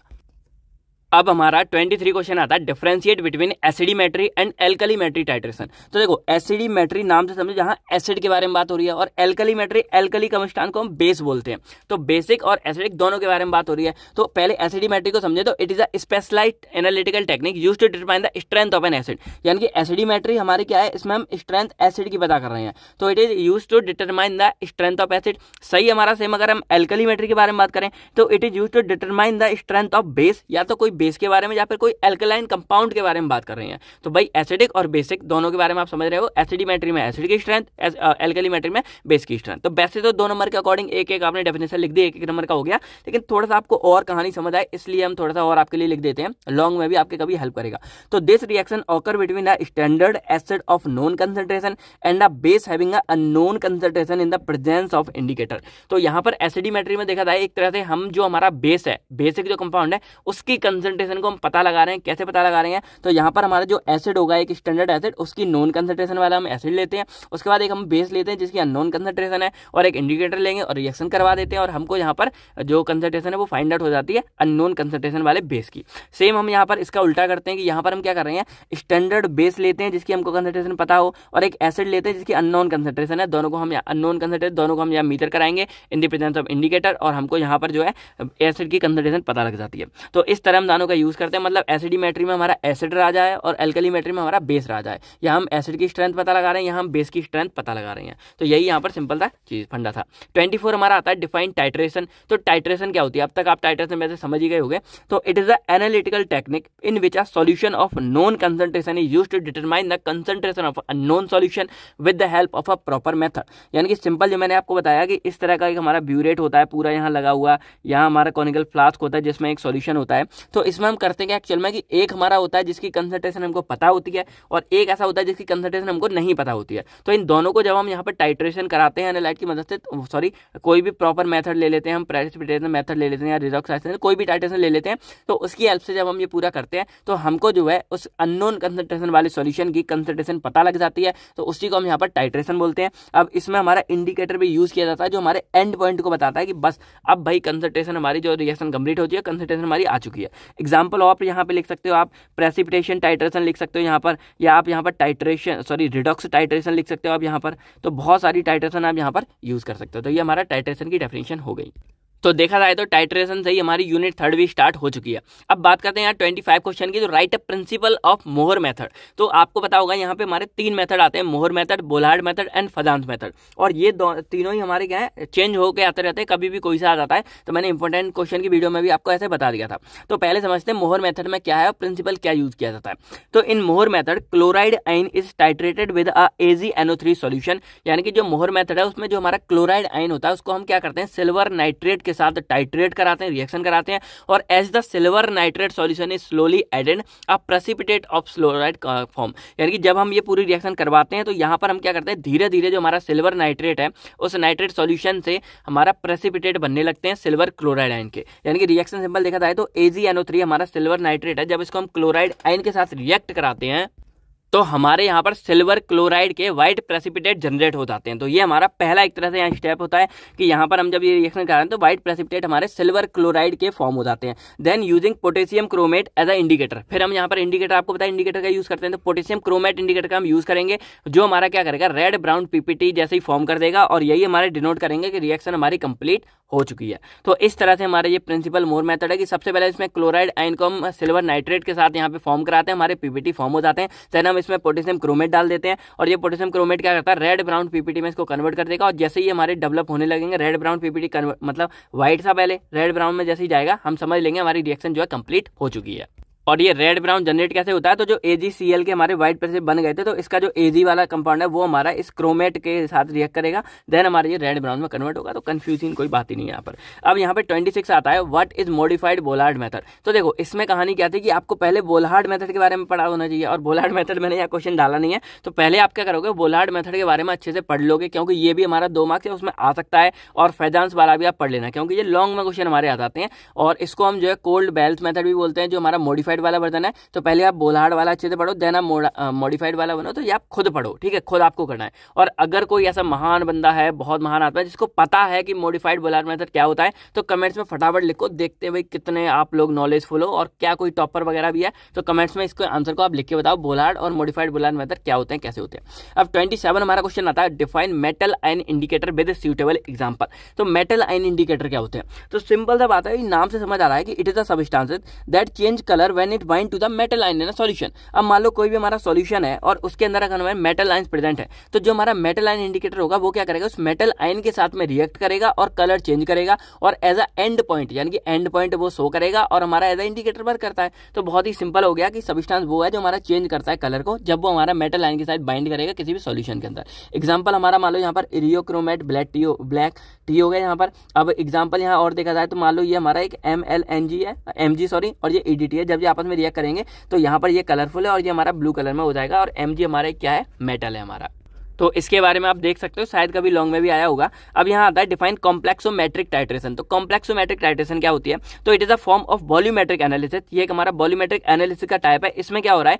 Formation of a coloured complex use to indicate the end point of a titration यानी कि किसी भी जो हमारी टाइट्रेशन होती है, उसमें क्या होता है? जैसे कलर एक हमारा कॉम्प्लेक्स फॉर्म हो जाता है तो वही हमारा इंडिकेट करता है कि इसमें एंड पॉइंट आ जाता है। अब मेन बात समझते हैं कि ये क्या है? तो it is use for the determination of mixture of different metal in solution यानी कि कोई भी जो हमारा सोल्यूशन है, उसमें मान लो डिफरेंट डिफरेंट डिफरेंट मेटल के साइन है, जो बहुत सारे हमारे हैं तो उनको डिटरमाइन करने के लिए कि कौन साइन प्रेजेंट है, कैसे प्रेजेंट है, उसी के लिए हम इस कॉम्प्लेक्सोमेट्रिक टाइट्रेशन का यूज़ करते हैं। और इसी कॉम्प्लेक्सोमेट्रिक टाइट्रेशन के अंदर हमारे जो मेटल एंड इंडिकेटर है, उनका हम यहाँ पर यूज़ कर रहे होते हैं। तो अगर रिएक्शन में सिंपल आपको बताऊँ, मान लो कोई भी हमारा एक एनालाइट है या मेटल आइन है तो उसको हम चिलेटिंग एजेंट के साथ रिएक्ट करा रहे हैं। और बीच में यहाँ पर मेटल आइन इंडिकेटर का यूज़ कर रहे हैं। तो जैसे ही हम ये करेंगे तो यहाँ पर क्या हो जाएगा मेटल चिलेट कॉम्प्लेक्स फॉर्म हो जाएगा। और यही कॉम्प्लेक्स हमारे कलर्ड कॉम्प्लेक्स होगा, जिससे हमको पता लगेगा रिएक्शन कंप्लीट हो चुकी है और क्या कैसे फंडा है और बीच में हमने मेटल आइन का इंडिकेटर भी यूज़ किया। तो ये दोनों एक तरह देखा था सेम चीज़ इसीलिए मैं बोलता हूँ कि ये फाइव से सेवन मार्क्स में इसलिए चला जाता है पहले आपको इसको डिफाइन करना है, फिर इसमें इंडिकेटर ये हमारा यूज़ हो रहा है रिएक्शन आपको दो दो मिल गई है। तो अगर आप इनको लिख कर आओगे तो भाई सात में से आपको चार पाँच नंबर तो कोई भी दे देगा। तो यही हमारा होता है। उसके बाद ट्वेंटी क्वेश्चन आता है what is masking and demasking agent तो ये भी हमारा कॉम्प्लेक्समेटिक टाइट्रेशन के अंदर ही पार्ट आता है तो मास्किंग एजेंट पहले समझो। तो मान लो यहाँ पर क्या होगा, वैसे मैंने आपको भी बताया कि मिक्सचर ऑफ़ डिफरेंट मेटल है। मान लो कोई भी एक सॉल्यूशन है, उसमें डिफरेंट डिफरेंट टाइप के मिक्सचर प्रेजेंट है हमारे मेटल आइन के। अब हमको क्या चाहिए कि मान लो यहाँ तीन में एग्ज़ाम्पल बता दो मान लो कैल्शियम कैडियम और कॉपर है। और इसको हम क्या करना है? हमको एक कॉम्प्लेक्स चाहिए, कैल्शियम ईडीटीए का चाहिए। तो हमने ईडीटीए के साथ यहाँ पर रिएक्शन करवाई है। लेकिन हम चाहते हैं कि भाई सिर्फ़ हमको जो है कैल्शियम का मतलब कॉम्प्लेक्स मेरे साथ में। तो हम यहाँ पर यूज़ करते हैं मास्किंग एजेंट का। अब मास्किंग एजेंट क्या करेगा? वो इन दोनों के ऊपर जाके क्या करेगा? लेयर बना देगा, इसको मास्क कर देगा। मास्क मतलब कैद कर देगा, बंद कर देगा। तो अब क्या होगा कि ये जो पूरी रिएक्शन होगी हमारे सॉरी ये हमारा पूरा मिक्सचर है। और ये रिएक्शन होगी, उसमें सिर्फ़ हमारे जो कॉम्प्लेक्स है, वो हमारे कैल्शियम के साथ बनेगा। हमारे इन कॉपर और कैडियम का यूज़ नहीं होगा। तो यही हमारे मास्किंग एजेंट्स होते हैं कि these are those agents which are use to mask the ions in a mixture of ion यानी कि ये हमारे मास्क ऑफ़ आइन को कर देते हैं if we want any particular ion complex अगर हमें सिर्फ़ कोई यानी पर्टिकुलर आइन कॉम्प्लेक्स चाहिए तो जैसे एग्ज़ाम्पल के लिए हमारा एक केसीएन है तो केसीएन क्या करेगा? इस दोनों को मास्क कर देगा और मास्किंग एजेंट्स मतलब इसी को बोलते हैं, इन दोनों को मास्क कर देगा और हमको सिर्फ़ जो है कैल्शियम ईडीटी e का मिल जाएगा। अब आपसे वो है कमेंट्स में कि ये सॉरी मैं इसका नाम ही लेने वाला था। के सी एन को नाम क्या बोलते हैं? मतलब इसकी फुल फॉर्म क्या है? के सी एन को क्या बोलते हैं? के से तो पोटेशियम हो गया। कमेंट्स में लिख के बताओ। अब डी मास्किंग एजेंट्स के बारे में बात करें तो these are those agents which are use to release the effect of masking agents and by the metal ion is regain its property and take part in the reaction यानी कि simple जो हमने मास्किंग एजेंट्स में कांड किया था, यहाँ पर हमने इनको मास्क कर दिया था, इसी मास्क को रिगेन करने के लिए, इसी मास्किंग एजेंट्स को हटाने के लिए, इस इफ़ेक्ट को हटाने के लिए हम डी मास्किंग एजेंट्स का यूज़ करते हैं। डी मतलब होता है डिलीट करना मास्किंग एजेंट्स को। तो वही हमारा डी मास्किंग एजेंट्स है कि हम इसमें रिलीज़ कर रहे हैं मास्किंग एजेंट्स के इफ़ेक्ट को, और उसके बाद जो हमारा मेटल लाइन है, ये वाला लाइन जो दोबारा अपनी प्रॉपर्टी को रिगेन करेंगे। और फिर से ये हमारे इस वाली रिएक्शन में क्या करेंगे? इन्वॉल्व हो जाएँगे। तो एग्ज़ाम्पल जैसे हमारा फॉर्मेली हाइट है तो अगर हमको इन दोनों में ये केडियम वाला भी चाहिए था तो हम क्या करेंगे? फॉर्मेली हाइट का यहाँ पर यूज़ करेंगे। फॉर्मेली हाइट इस कैडियम को फ्री कर देगा और हमारा देन यहाँ पर होगा कैडियम और ये हमारा ईडीटीए ये भी हमारा एक कॉम्प्लेक्स फॉर्म हो जाएगा। अब थर्टी हमारा क्वेश्चन आता है define principle of gravimetry analysis तो देखो ग्रेविमेट्री वाला जो वो फंडा है पूरा, वो बहुत इंपॉर्टेंट है। एग्ज़ाम में लॉन्ग में भी कई बार आ जाता है। इसमें बहुत सारे स्टेप होते हैं। बस आपको सिंबल क्या करना है, इसकी डेफिनेशन प्रिंसिपल देन आपको क्या करना है, इसके जो भी आठ दस स्टेप है, उन सबको बारी बार से डिफाइन करते जाना है।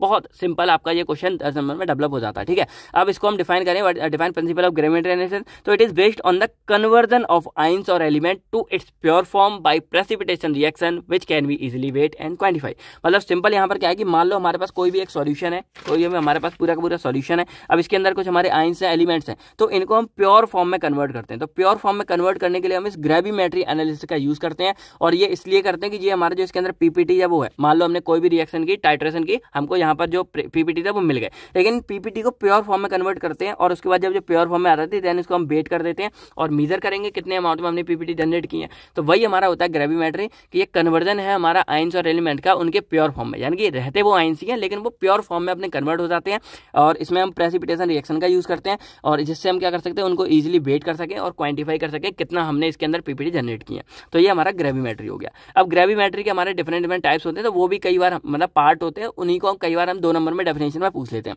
जैसे एग्ज़ाम्पल के लिए डिफाइंड डाइजेशन या इसको हम जो है ऑसवाल्ट रिपनिंग भी बोलते हैं। तो इसमें क्या होता है, जैसे मान लो मैंने आपको बताया पीपीटी फॉर्म हो रही है तो मान लो हमारी, जैसे ही हमने कोई रिएक्शन की पीपीटी फॉर्म हो गई तो उसमें हम क्या करते हैं, जो पीपीटी हमारा प्रेसिपिटेट है, उसको हम मदर लेकर मदर लेकर क्या होता है, जो हमारा सोर्स ऑफ़ पूरा का पूरा, मान लो ये हमारा एक पूरा का पूरा मेन सॉल्यूशन है, इसी सॉल्यूशन से हम क्या कर रहे हैं, अपनी पीपीटी को जनरेट कर रहे हैं। तो जब हमारे इसमें पीपीटी जनरेट हो जाते हैं देन हम क्या करते हैं, इस पीपीटी को क्या करते हैं जो प्रेसिपिटेट को पीपीटी बोलते हैं तो इन पीपीटी को इसमें रख देते हैं आधा एक घंटे के लिए, थोड़ा सा बॉयल फॉर्म में, यानी कि थोड़े से गर्म फॉर्म में। तो ये हमारे आधे से एक घंटे के लिए क्या रहता है, इसके अंदर हमारे बॉइल्ड कंडीशन में स्टेबल रहते हैं अलाउ करते हैं। अब ऐसा करते क्यों है? तो इसमें क्या होता है कि digestion involve the dissolution of small particle and reprecipitation on largest one resulting in particular growth and better precipitation मतलब सिंपल क्या है कि यहाँ पर हमारे को छोटे छोटे पीपीटी वाले पार्ट्स भी होते हैं और ये हमारा मेन पीपीटी है जो हमारा जनरेट हो रहा है। तो इसमें क्या होगा कि जब हम इसको बॉइल फॉर्म में करेंगे तो जो स्मॉल वाले हमारे पीपीटी है, वो भाई बहुत छोटे हैं। तो ये हमारे डिजोल्व हो जाएँगे। डिजोल्व मतलब घुलने लगेंगे इसमें और घुलने के बाद वो हमारे क्या होंगे? इसके ऊपर आके क्या कर देंगे? चिपक जाएँगे। और जब इसके ऊपर आके बैठ जाएँगे तो इस तरह से हमारे ये पीपीटी जो पहले वाला था वो हमारा और अच्छा बनने लगेगा और बड़ा बनने लगेगा। और हमको क्या चाहिए? इस पूरी ग्रेविमेट्री में हम कर ही कर रहे हैं? हम भाई पीपीटी को तो निकालना उनके प्योर फॉर्म में। तो जो हमारा बाकी का इधर उधर का सॉल्यूशन था, उसमें जो इधर उधर बिखरे पड़े थे पीपीटी वाले पार्ट हल्के फुल्के छोटे वाले, वो भी हमारे क्या होते हैं? इसमें डिजोल्व होकर हमारे इस वाले बड़े पार्टिकल के ऊपर हमको मिल जाते हैं और हमको जितना भी इसमें प्रेसिपिटेट बन सकता है, वो सारा का सारा हमारा इसके अंदर यहाँ पे हमको मिल जाता है। तो इसीलिए इसको क्या बोलते हैं? डाइजेशन हमारी बहुत अच्छी और प्योरिटी वाली फॉर्म है। और इसी को हम जो है ऑसवाल्ट रिपनिंग भी बोलते हैं। एग्ज़ाम में ये आ सकता है, आप इसको अच्छे से देख सकते हो, ठीक है? तो डेफिनेशन आप यहाँ पर लेके आ जाना। अब थर्टी क्वेश्चन आता है डिफाइन को प्रेसिपिटेशन एंड पोस्ट प्रेसिपिटेशन तो इसमें क्या होता है कि it is a type of contamination या type of precipitation in which precipitate are contaminated by substances which are normally soluble in mother liquor and get removed with PPT मतलब simple समझो जो मैंने आपको बताया कि मान लो ये हमारा सॉल्यूशन है और इसमें हमने ये पीपीटी जनरेट कर लिया अपनी पूरी, ठीक है? अब इस पीपीटी को हम क्या करेंगे? इस पूरे सॉल्यूशन से बाहर निकाल लेंगे प्योर फॉर्म में। लेकिन यहाँ पर क्या हो जाता है कि कुछ ऐसी इंप्योरिटीज होती है हमारी जो ये मदर लेकर है मतलब मेन हमारे जो सोल्यूशन होता है पूरा का पूरा बड़ा वाला, इस मदर लेकर में कुछ हमारी इंप्योरिटीज प्रेजेंट होती है सॉल्यूबल होती है इस वाले के साथ में। तो ये हमारी जो इम्प्योरिटीज है, वो क्या होती है, वो इस वाले पीपीटी के ऊपर क्या होती है, आकर चिपक जाती हैं। तो जब हम क्या करते हैं, इन वाले पीपीटीज को अपने बाहर निकालते हैं तो बाहर निकालते टाइम यहाँ पर क्या हो जाता है कि जो इम्प्योरिटी है, वो भी हमारे इनके साथ बाहर आ जाती है। तो इसी को हम को प्रेसिपिटेशन कहते हैं कि यहाँ पर क्या हो रहा है कि जब हम अपने पीपीटी को बाहर निकाल रहे थे तो उसी टाइम पर हमारी जो इम्प्योरिटीज हैं, वो हमारी इस पीपीटी के साथ में बाहर आ जाती हैं। तो इसीलिए इसको को प्रेसिपिटेशन बोलते हैं कि पहले ही एकदम ये कांड हो गया हमारा, ठीक है? यानी कि हमने प्रेसिपिटेट कर नहीं पाए, उससे पहले ये हमारे साथ क्या हो गया, दुर्घटना हो गई इंप्योरिटीज हमको मिल गई। अब यहाँ सेकंड चीज़ आती है हमारी पोस्ट प्रेसिपिटेशन तो ये क्या है कि it is the type of in which the precipitation of undesirable compound occurs after formation of desirable compound अब इसमें मैंने आपको बताया कि मान लो ये वाले जो हमारी पीपीटी थी, ये हमारी डिजायर्ड है, जो हमको पीपीटी चाहिए और हमने बनाई। लेकिन पोस्ट प्रेसिपिटेशन में क्या होता है कि यहाँ पर जो हमारी अलग जो इंप्योरिटीज होती है ना, वो इनके ऊपर जाके नहीं लगती हैं। वो क्या होती है कि वो भी अपना एक इस तरह का प्रेसिपिटेट अलग जनरेट कर लेती हैं। कैसे करती हैं? तो आपको बताया कि हम इसमें प्रेसिपिटेट बनाने के लिए प्रेसिपिटेटिंग रिजेंट का यूज़ करते हैं। तो वो रिजेंट का यूज़ करके जो हमारी ये इम्प्योरिटीज है। ये इम्प्योरिटीज भी क्या करती हैं? अपने आपका एक अलग पीपीटी बना लेती हैं और जब हम इसको बाहर एक तरह से डिजायरेबल निकालते हैं तो ये डिजायरेबल के साथ में हमारे अनडिजायरेबल पीपीटी भी आ जाते हैं और ये undesirable PPT as a impurity हमारी बर करती है। तो यही हमारा था पोस्ट प्रेसिपिटेशन की यहाँ पर क्या हो रहा है कि जो हमारे फॉर्म होने थे डिजायरेबल कंपाउंड वो फॉर्म हो चुके हैं, लेकिन उसके बाद में जो इम्प्योरिटी थी, वो अपना अलग से पूरा पीपीटी जनरेट कर लेती हैं। तो ये हमारा पोस्ट प्रेसिपिटेशन हो गया और को प्रेसिपिटेशन में हमारी जो यहाँ पर जो हमारी ये चीज़ थी इम्प्योरिटी इनके ऊपर ही हमारी इम्प्योरिटीज आ जाती हैं पीपीटी के ऊपर, और वो हमारी बाहर निकल आती हैं। तो ये दोनों का डिफरेंस आई होप आप समझ गए होंगे, बहुत इंपॉर्टेंट है लॉन्ग में भी कई बार ये क्वेश्चन हमारा आया हुआ है।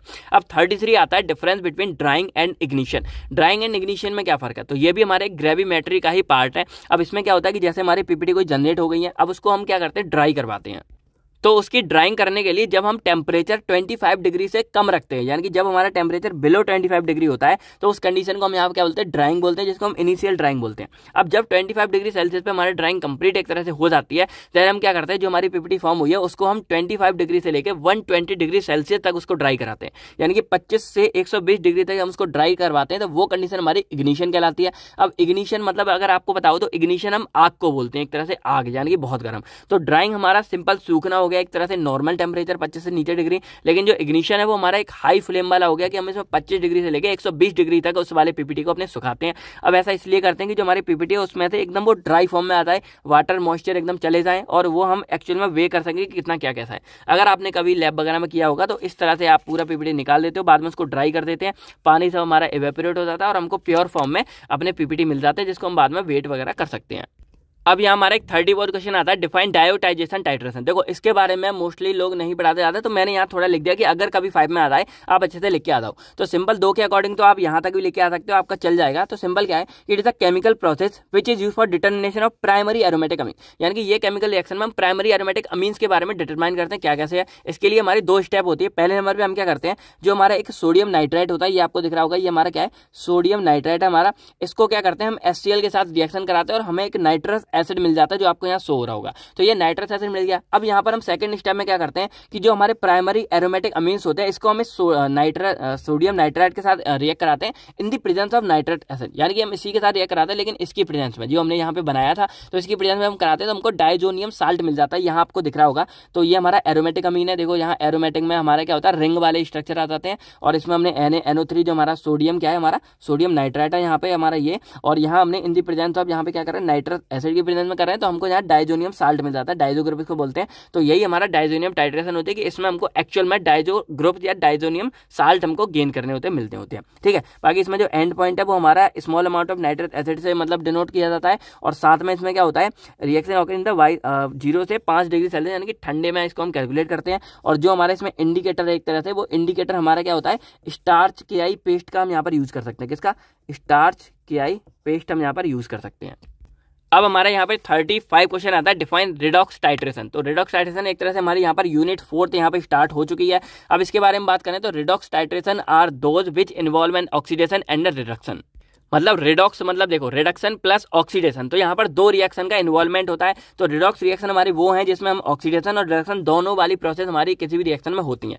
अब रिडॉक्स टाइट्रेशन क्या है? तो redox titration is a method use to determine the concentration of given analyte by causing a redox reaction यानी कि जो रिडॉक्स टाइट्रेशन है, उसमें हम क्या करें कि हम रिडॉक्स रिएक्शन की मदद से कोई भी जो हमारा एनालाइट है सॉल्यूट है, उसकी कंसेंट्रेशन को हम पता लगा रहे हैं। किसकी मदद से? अपनी रिडॉक्स रिएक्शन की मदद से पता लगा रहे हैं। और जो हमारी टाइट्रेंट और एनालाइट के बीच में होती है। एग्ज़ाम्पल के लिए मैंने यहाँ लिख दिया कि two F E three positive plus H positive और ये रिवर्सेबल है। यहाँ पर क्या बनता है? Two F E two positive plus two H positive तो यहाँ पर जो इधर से इधर हो रही है, हमारी रिडक्शन हो रही है। रिडक्शन का मतलब एक तो होता है रिमूवल ऑफ़ ऑक्सीजन ऑक्सीजन हमारे रिमूव हो रही है, लेकिन दूसरा होता है गेन ऑफ़ इलेक्ट्रॉन तो यहाँ पर अगर आप देखोगे, यहाँ पे हमारे इलेक्ट्रॉन की क्या हो रही है? गेन हो रही है। सेकंड हमारे यहाँ पर की चीज़ का है? ऑक्सीडेशन ऑक्सीडेशन में क्या होता है? Loss of electron electron loss किए जाते हैं। दूसरा एडिशन ऑफ़ ऑक्सीजन ऑक्सीजन की हम एडिशन करते हैं।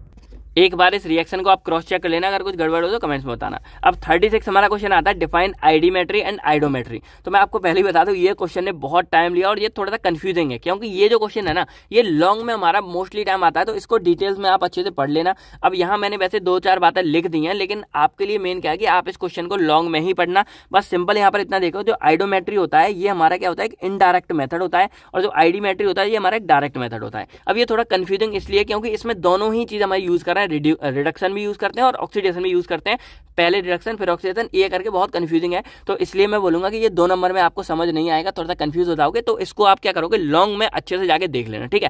बाकी अगर आपको आ ही जाता, कुछ भी ना है तो ये रिएक्शन लिख के आता ना कि जो आयोडोमेट्रियस में हम आयोडाइड से आयोडीन बनाते हैं। तो यहाँ पर टू आयोडाइड ये हमारा आयोडाइड है, दो इलेक्ट्रॉन माइनस करेंगे, ये आयोडीन बन जाएगा। और जो हमारा आईडीमेट्री है, इसमें हम क्या करते हैं फ्री आयोडीन से हम क्या करते हैं आयोडाइड बनाते हैं। यहाँ पर हमारा क्या आयोडाइड बन रहा है यहाँ पर। तो ये हमारा आयोडीन हो गया फ्री इसको दो रिएक्शन करेंगे, ये आयोडाइड बन जाएगा। तो ये हम दोनों की रिएक्शन आप अच्छे से याद कर लेना। अब 37 हमारा क्वेश्चन आता है define oxidising and reducing agent दोनों के एजेंट्स के बारे में आपको बताना है। तो जो ऑक्सीडाइजिंग एजेंट्स है, वो हमारा क्या है कि ये वो सबिस्टांस है जो हमारे ऑक्सीजन को ऐड करेंगे और हाइड्रोजन को रिमूव करेंगे। साथ में ये हमारे as a electron acceptor use करते हैं। मतलब ये हमारे क्या करेंगे? इलेक्ट्रॉन को एक्सेप्ट करेंगे। अब एग्ज़ाम्पल के लिए देखा जाए तो एसओ प्लस ऑक्सीजन यहाँ पे देखो हम क्या कर रहे हैं? एडिशन ऑफ़ ऑक्सीजन कर रहे हैं। एसओ थ्री बन गया। तो ये रिएक्शन हमारी ऑक्सीडेशन हो गई। अब a substance that add hydrogen and remove oxygen इसमें हमारा हाइड्रोजन एड होगा और ऑक्सीजन रिमूव होगा। तो इसको हम क्या बोलते हैं? रिड्यूसिंग एजेंट्स बोलते हैं। अब इसमें हमारे इसको इलेक्ट्रॉन डोनर भी बोलते हैं कि इलेक्ट्रॉन को डोनेट करते हैं। एग्ज़ाम्पल हमारा सी टू एच फोर हो गया प्लस ओ टू एच हो गया। तो यहाँ हम क्या करें हाइड्रोजन को एड करें तो हमारा बन जाएगा सी टू एच फोर बन जाएगा। सी टू एस सिक्स बनेगा यहाँ पर, क्योंकि दो हमारे और ऐड हो जाएँगे तो सी टू एस सिक्स हमारा ये बन जाएगा। तो ये हमारा ऑक्सीडेसिंग एजेंट होगा सिंपल ऑक्सी देखो ट्रिक समझो क्या है। ऑक्सीडेशन ऑक्सी मतलब मैं पहले ऑक्सीजन आ रहा है तो यहाँ ऑक्सीजन को हम ऐड कर रहे हैं। ऑक्सीजन को ऐड किया तो भाई बाकी बचा क्या हमारा? हाइड्रोजन दो सबिस्टांस हमारे मेन होते हैं, एक हमारा होगा यहाँ पे ऑक्सीजन और एक हमारा होगा हाइड्रोजन ऐसे आप समझो। तो यहाँ पर फंडा सिंपल क्या हो रहा है कि अगर हम ऑक्सीडेशन की बात करें ऑक्सीडाइजिंग में तो ऑक्सीडाइजिंग मतलब यहाँ ऑक्सीजन की हम एडिशन कर रहे हैं। तो जब हमने ऑक्सीजन ऐड कर दिया तो बस उसका उल्टा करना है, हमको हाइड्रोजन को निकाल देना है। ठीक है, अब ये दो कंडीशन होगी कि आपने पहले में ऑक्सीजन को ऐड किया, यहाँ पर प्लस ऑक्सीजन और माइनस आपने हाइड्रोजन कर दिया। सिंपल है। अब इसका जस्ट उल्टा कर दो रिड्यूसिंग में कि यहाँ पर आप क्या करो ऑक्सीजन को निकाल दो और आपका हाइड्रोजन को ऐड कर दो। तो इस तरह आप दोनों को अच्छे से याद कर सकते हो। ठीक है, चलिए। अब थर्टी हमारा आता है explain the term dichrometry dichrometry term हमारा क्या होता है? तो it is the titration in which involve the potassium dichromate as the oxidising agent मतलब जो हमारा डाइक्रोमेट्री है, उसमें हम पोटेशियम डाइक्रोमेट का यूज़ कर रहे हैं एज ऑक्सीडाइजिंग एजेंट अब ये मेथड हमारा use use based on the oxidation of dichromate ion ये हमारा डाइक्रोमेट आइन के ऑक्सीडेशन पे हमारा डिपेंड करता है.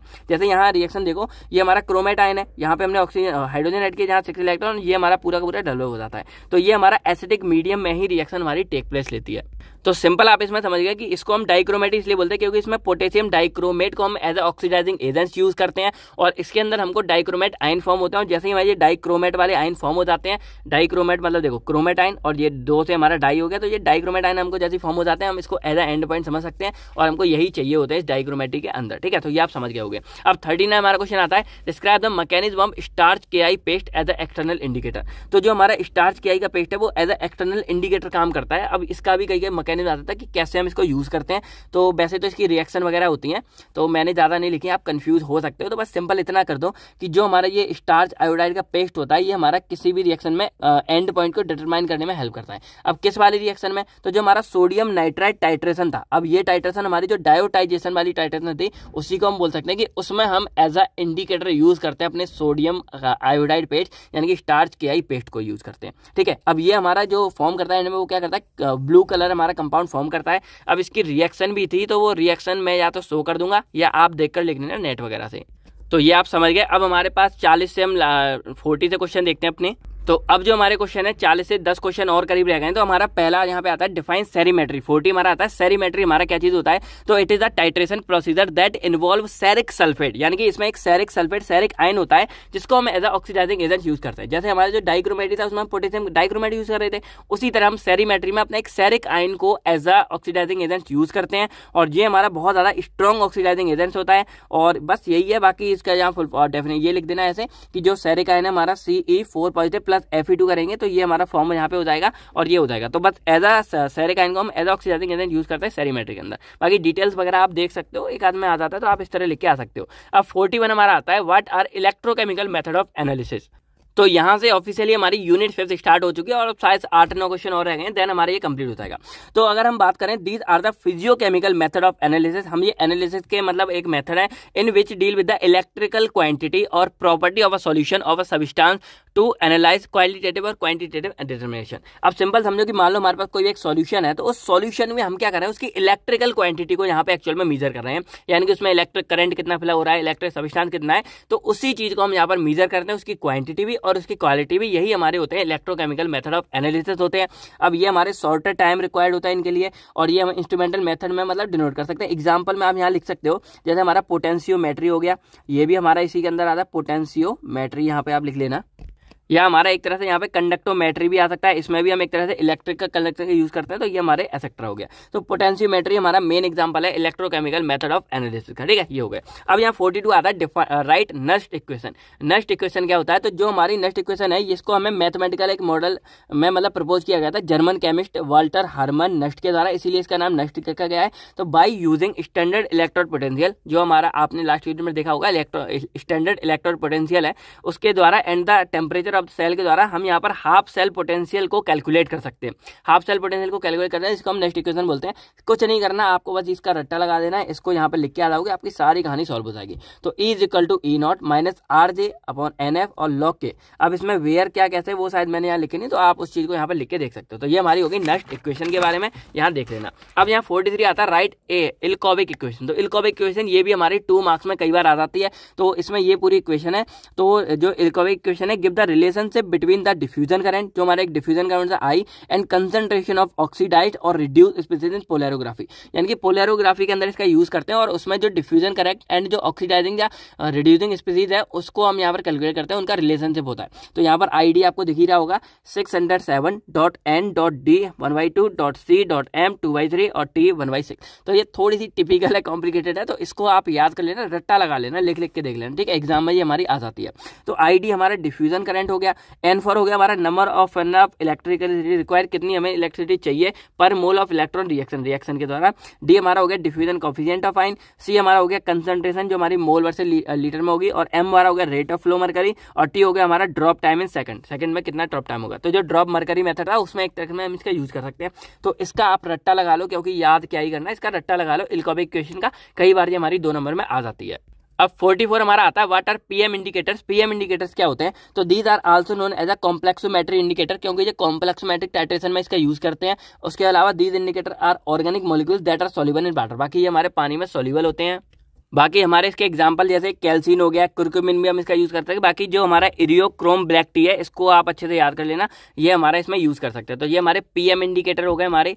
फिर हमारे यहाँ एक क्वेश्चन बनता है फोर्टी फाइव हमारा आता है what is the relationship between P H and potential तो वैसे ही ये क्वेश्चन हमारा मोस्टली नहीं आता, लेकिन कई बार आपको पता होना चाहिए क्या कैसे है। तो आपको अगर पी एच की फुल फॉर्म आपने देखी होगी तो पी एच की फुल फॉर्म होती है पोटेंशियल ऑफ़ हाइड्रोजन तो सिंपल बोल सकते हैं कि the potential is a linear function of P H यानी कि जो पी एच होता है, उसका लीनियर फ़ंक्शन ही हमारा पोटेंशियल होता है कि ये हमारे एनर्जी जो हमारा हाइड्रोजन है, उसकी पोटेंशियल कितनी है पावर कितनी पावर कितनी है एनर्जी कितनी है, उसी को डिनोट करता है। तो यही हमारा इसका रिलेशन हो जाएगा पी एच एंड पोटेंशियल का। और ज़्यादा अगर छोटा लगे तो पी एच की आप यहाँ इस तरह से डेफिनेशन फुल फॉर्म वो लेके आता है formula it is a negative logarithm of H positive ion ठीक है, बाकी ये हमारा मेन है कि it is a potential of hydrogen इसलिए ये हमारा क्या है कि हाइड्रोजन की पोटेंशियल यानी कि पावर को ये बताता है पीएच के अंदर। ठीक है तो यही हमारा होता है। अब फोर्टी हमारा आता है डिफाइन कोहरलर्थ लॉ तो इस लॉ के बारे में क्या हैं? तो सिंपल जैसे एन इनफाइनाइट डायल्यूशन एक डायल्यूशन मतलब पानी वगैरह जो मिलाते हैं, वो the molar conductivity of electrolyte यानी कि जैसे कोई भी हम जो सॉल्यूशन करते हैं, उसमें यहाँ हमने एक्वस वाला पानी ले लिया तो इसलिए इसको हम बोलते हैं इनफाइनाइट डायल्यूशन मतलब पानी इसमें मिक्स है. The molar conductivity of an electrolyte कोई भी जो इलेक्ट्रोलाइट है, उसकी जो मोलर कंडक्टिविटी है can be represented at the sum of an individual contribution of the anion and cation of an electrolyte यानी कि कोई भी जो हमारा इलेक्ट्रोलाइट है, उसमें दो होते हैं एनाइन और कैटाइन तो बस इतना है कि कैटाइन और एनाइन दोनों को जब हम मिक्स कर देंगे इंडिविजुअली को दोनों मिक्स कर देंगे तो जो ओवरऑल हमारा वो निकलेगा आयन कंसेंट्रेट वो हमारा ओवरऑल मोलर कंडक्टिविटी के बराबर होगा इलेक्ट्रोलाइट की। कुछ नहीं है, बस बेसिक सम का फंडा है कि यहाँ पर देखो इन्फाइनाइट डायल्यूशन पे हमारी जो मोलर कंडक्टिविटी है इज़ इक्वल टू यहाँ पर क्या है कैटाइन और एनाइन की जो एक तरह से मोलर कंडक्टिविटी है। तो बस इतना यहाँ पर सिंपल सा फंडा है वेयर ये ये हमारी क्या नोन एज आयनिक कंडक्शन ये हमारी आयनिक कंडक्शन है ऑफ़ एनाइन एंड कैटाइन की एंड इन्फाइनाइट डायल्यूशन रिस्पेक्टिवली तो बस यही हमारा सिंपल सा फंडा है। इसको रट्टा देखो ये कुछ ऐसी चीज़ें जो आपको सिंपल दो नंबर में समझ आने नहीं वाली। और लॉन्ग में आपको चाहिए, तभी आपको एक तरह समझ आएँगी, क्योंकि थोड़ा सा दिमाग खाने वाली ये एक तरह से चीज़ें हो सकती हैं। फोर्टी सेवन हमारा आता है define polarography and write its principle polarography हमारा क्या होता है एक्चुअल में? तो इसको मैंने थोड़ा डिटेल्स में लिख दिया, क्योंकि आपको आगे समझ आता है। तो इट इज़ अ बोल्टामेट्रिक बॉलीमेट्रिक नहीं है बोल्टामेट्रिक मतलब क्या यहाँ हम वोल्टेज का यूज़ कर रहे हैं। तो it is a voltammetric technique in which chemical species जो हमारे केमिकल स्पीसीज आइन या मॉलिक्यूल्स हैं अंडरगो ऑक्सीडेशन और reduction at the surface of a dropping mercury electrode at an applied potential मतलब एक हमारा ड्रॉपिंग मरकरी इलेक्ट्रोड आप लोगों ने D P E D M E sorry इसके बारे में सुना होगा, जो हमारा इंपॉर्टेंट भी है, कई बार एग्ज़ाम में ये मतलब मोस्टली टाइम एग्ज़ाम में हमारा आता ही आता है यूनिट फिफ्थ के अंदर से। तो इस वाले क्वेश्चन को आप डिटेल्स में भी जाके पढ़ लेना। तो यहाँ पर ये क्या बोल रहे हैं कि यहाँ पर हम क्या कर रहे हैं, कोई भी जो हमारा केमिकल स्पीसीज है, इसकी करंट जो फ्लो हो रहा है, उसको पता लगा रहे हैं। यानी कि सिंपल यहाँ पर क्या है कि बोल्टामेटिक टेक्निक है, जिसमें हमारे जो केमिकल स्पीड जो आइन से हमारे मॉलिक्यूल्स हैं, इनको जब हम ऑक्सीडेशन रिडक्शन करवाते हैं ड्रॉपिंग मरकरी इलेक्ट्रॉन की मदद से कुछ वोल्टेज अप्लाई करके देन हम उनकी करंट को पास करते हैं। इससे नहीं समझे, चलो प्रिंसिपल से हम समझते हैं देन आपको ये कहानी अच्छे से समझ आता है तो इसमें क्या हो रहा है कि the current that flow through the solution is measured in the form of an applied voltage using polarography मतलब पोलरोग्राफी के अंदर हम सिंपल क्या करना है कि मान लो हमने कोई भी एक हमारा ये सोल्यूशन है, जिसकी हमको क्या करनी है करंट पता करनी है तो कोई हमारा एक टेस्ट सॉल्यूशन है, जिसमें हमारे आइंस मॉलिक्यूल प्रेजेंट है। तो जब हम इसमें करंट फ्लो कर रहे हैं करंट एक्चुअल में उस करंट को हमें क्या करना है मीजर करना है। मैं इसीलिए बोल रहा हूँ, ये चीज़ हमारे कुछ लॉन्ग में आपको समझनी होगी, क्योंकि इसके अंदर हमारे कुछ फॉर्मूला ये सब चीज़ है तो शॉर्ट में बस ऐसे ही समझ लो। That current flow that flow through the solution measure current flow जो हमारा हो रहा है, उसको हम यहाँ पे मतलब मीजर कर रहे हैं। अब इसमें क्या है कि जो हमारा ड्रॉपिंग मरकरी इलेक्ट्रोड है, उसको हम यूज़ कर रहे हैं। अब ये हमारा क्या करता है कि जब हम इसके अंदर क्या कर रहे हैं, अपने वोल्टेज को अप्लाई कर रहे हैं। इसीलिए इसको वोल्टामेट्रिक बोलते हैं कि जब हम इसमें वोल्टेज को अपने अप्लाई करते हैं तो जो हमारे इलेक्ट्रॉन है, वो काम करते हैं तो उस दौरान जो हमारा पोलरोग्राफिक का वेव पैटर्न है, वो हमारा एक जनरेट होता है इसके अंदर में। तो वो जनरेट क्यों हो रहा है हमारा? क्योंकि यहाँ पर क्या हो रहा है कि जो हमारा मरकरी के जो ड्रॉप है, वो हमारे डिफरेंस डिफरेंस आएँगे। जैसे मान लो मैंने यहाँ पर वोल्टेज अप्लाई किया तो वोल्टेज अप्लाई करेंगे तो ड्रॉपिंग मरकरी इलेक्ट्रॉन जो हमारे इलेक्ट्रो जो मरकरी उसके जो साइज़ है, वो हमारे डिफरेंट डिफरेंट आएगा, कभी छोटा, कभी बड़ा, उस पर डिपेंड करेगा कितना करंट फ्लो हो रहा है। तो वो करंट जो हमारा फ्लो हो रहा है, उसके बेस पर हमारे जो पोलरोग्राफी है, उनके बेब्स जनरेट हो जा रहे हैं। करंट हमारे जितना दे उसके बेब्स इस तरह से हमारे तैयार हो जाएँगे और उन्हीं बेब्स को हम मीजर कर लेते हैं इस पोलरोग्राफी में और उसी बेब्स के अकॉर्डिंग हम बता सकते हैं कि भाई किसमें कितना करंट फ्लो हो रहा है। मतलब सिंपल हमारा क्या है कि हम यहाँ पर क्या कर रहे हैं, अपने बेब्स की मदद से अपने करंट फ्लो को यहाँ पर आइडेंटिफाई कर रहे हैं और करंट हमारा जितना फ्लो होगा, उतनी हमारी वेब जनरेट होंगी। तो दोनों एक तरह से वो है मतलब प्रोफेशनल है। एक चीज़ हमको पता लग जाएगी, दूसरे हम ऑटोमेटिक पता कर लेते हैं। तो वही यहाँ पे हम करंट फ्लो को अपने पोलरोग्राफिक वेब्स की मदद से पता कर रहे हैं और जो पोलरोग्राफिक वेब्स है वो हमारी जब हम वोल्टेज को जनरेट कर रहे हैं, यहाँ पर अप्लाई कर रहे हैं देन वो हमारी ड्रॉपिंग मरकरी इलेक्ट्रोड की मदद से तैयार हो रही है। ठीक है तो एक बार पोलरोग्राफी का आप डिटेल्स में भी देख लेना। मैंने शॉर्ट में थोड़ा बहुत आपको समझाने की कोशिश की दो नंबर में। आया हो तो ठीक है, वरना कोई बात नहीं यार, ये चीज़ें होती हैं कि ज़रूरी नहीं आप सारा कुछ लिख कर ही आ जाओगे, थोड़ा बहुत आपका छूट ही जाता है। अब फोर्टी क्वेश्चन हमारा आता है difference types of current use in polarography polarography में हमारे कौन कौन से करंट यूज़ होते हैं? तो यहाँ तो यहाँ हमारे चार टाइप्स के करंट है। पहला हमारा आता है चार्जिंग रेजिड्यूल या फिर कंडेंसर करंट है। इसमें चार्जिंग वगैरह वो होता है। सेकंड हमारा आता है माइग्रेशन करंट तो इसमें हमें जो आइंस है, उनकी माइग्रेट होती है। थर्ड हमारा आता है डिफ्यूजन रिड्यूसिंग करंट तो इसमें हमारे जो एनालाइट वगैरह, उसकी डिफ्यूजन जो मूवमेंट वगैरह उसमें, और काइनेटिक करंट जो हमारे गति ऊर्जा होती है, छुपे हुए वो वाला करंट होता है। तो डिटेल्स आप आगे जाके पढ़ लेना कहीं भी। मैंने मैंने आपको नाम बता दिए, जिससे आपका रिविजन हो जाए, कभी आता है तो आप इनके बारे में लिख के आ सकते हो। और ये वही करंट है जो मैं यहाँ पर बोल रहा कि हम वोल्टेज अप्लाई कर रहे हैं तो वो इन्हीं करंट की मदद से हम यहाँ पे करते हैं। ठीक है? चलिए, अब हमारा फोर्टी नाइन क्वेश्चन आता है डिफाइन कंडक्टोमेट्री क्या है हमारा? तो कंडक्टोमेट्री में सिंबल क्या करता है कि it is a measurement of conductivity of a solution due to mobility moving moving of cation and anion to bar respectively अब इसमें क्या है सिंपल मान लो कि कोई भी हमारा एक सॉल्यूशन है तो उसमें हम क्या कर रहे हैं?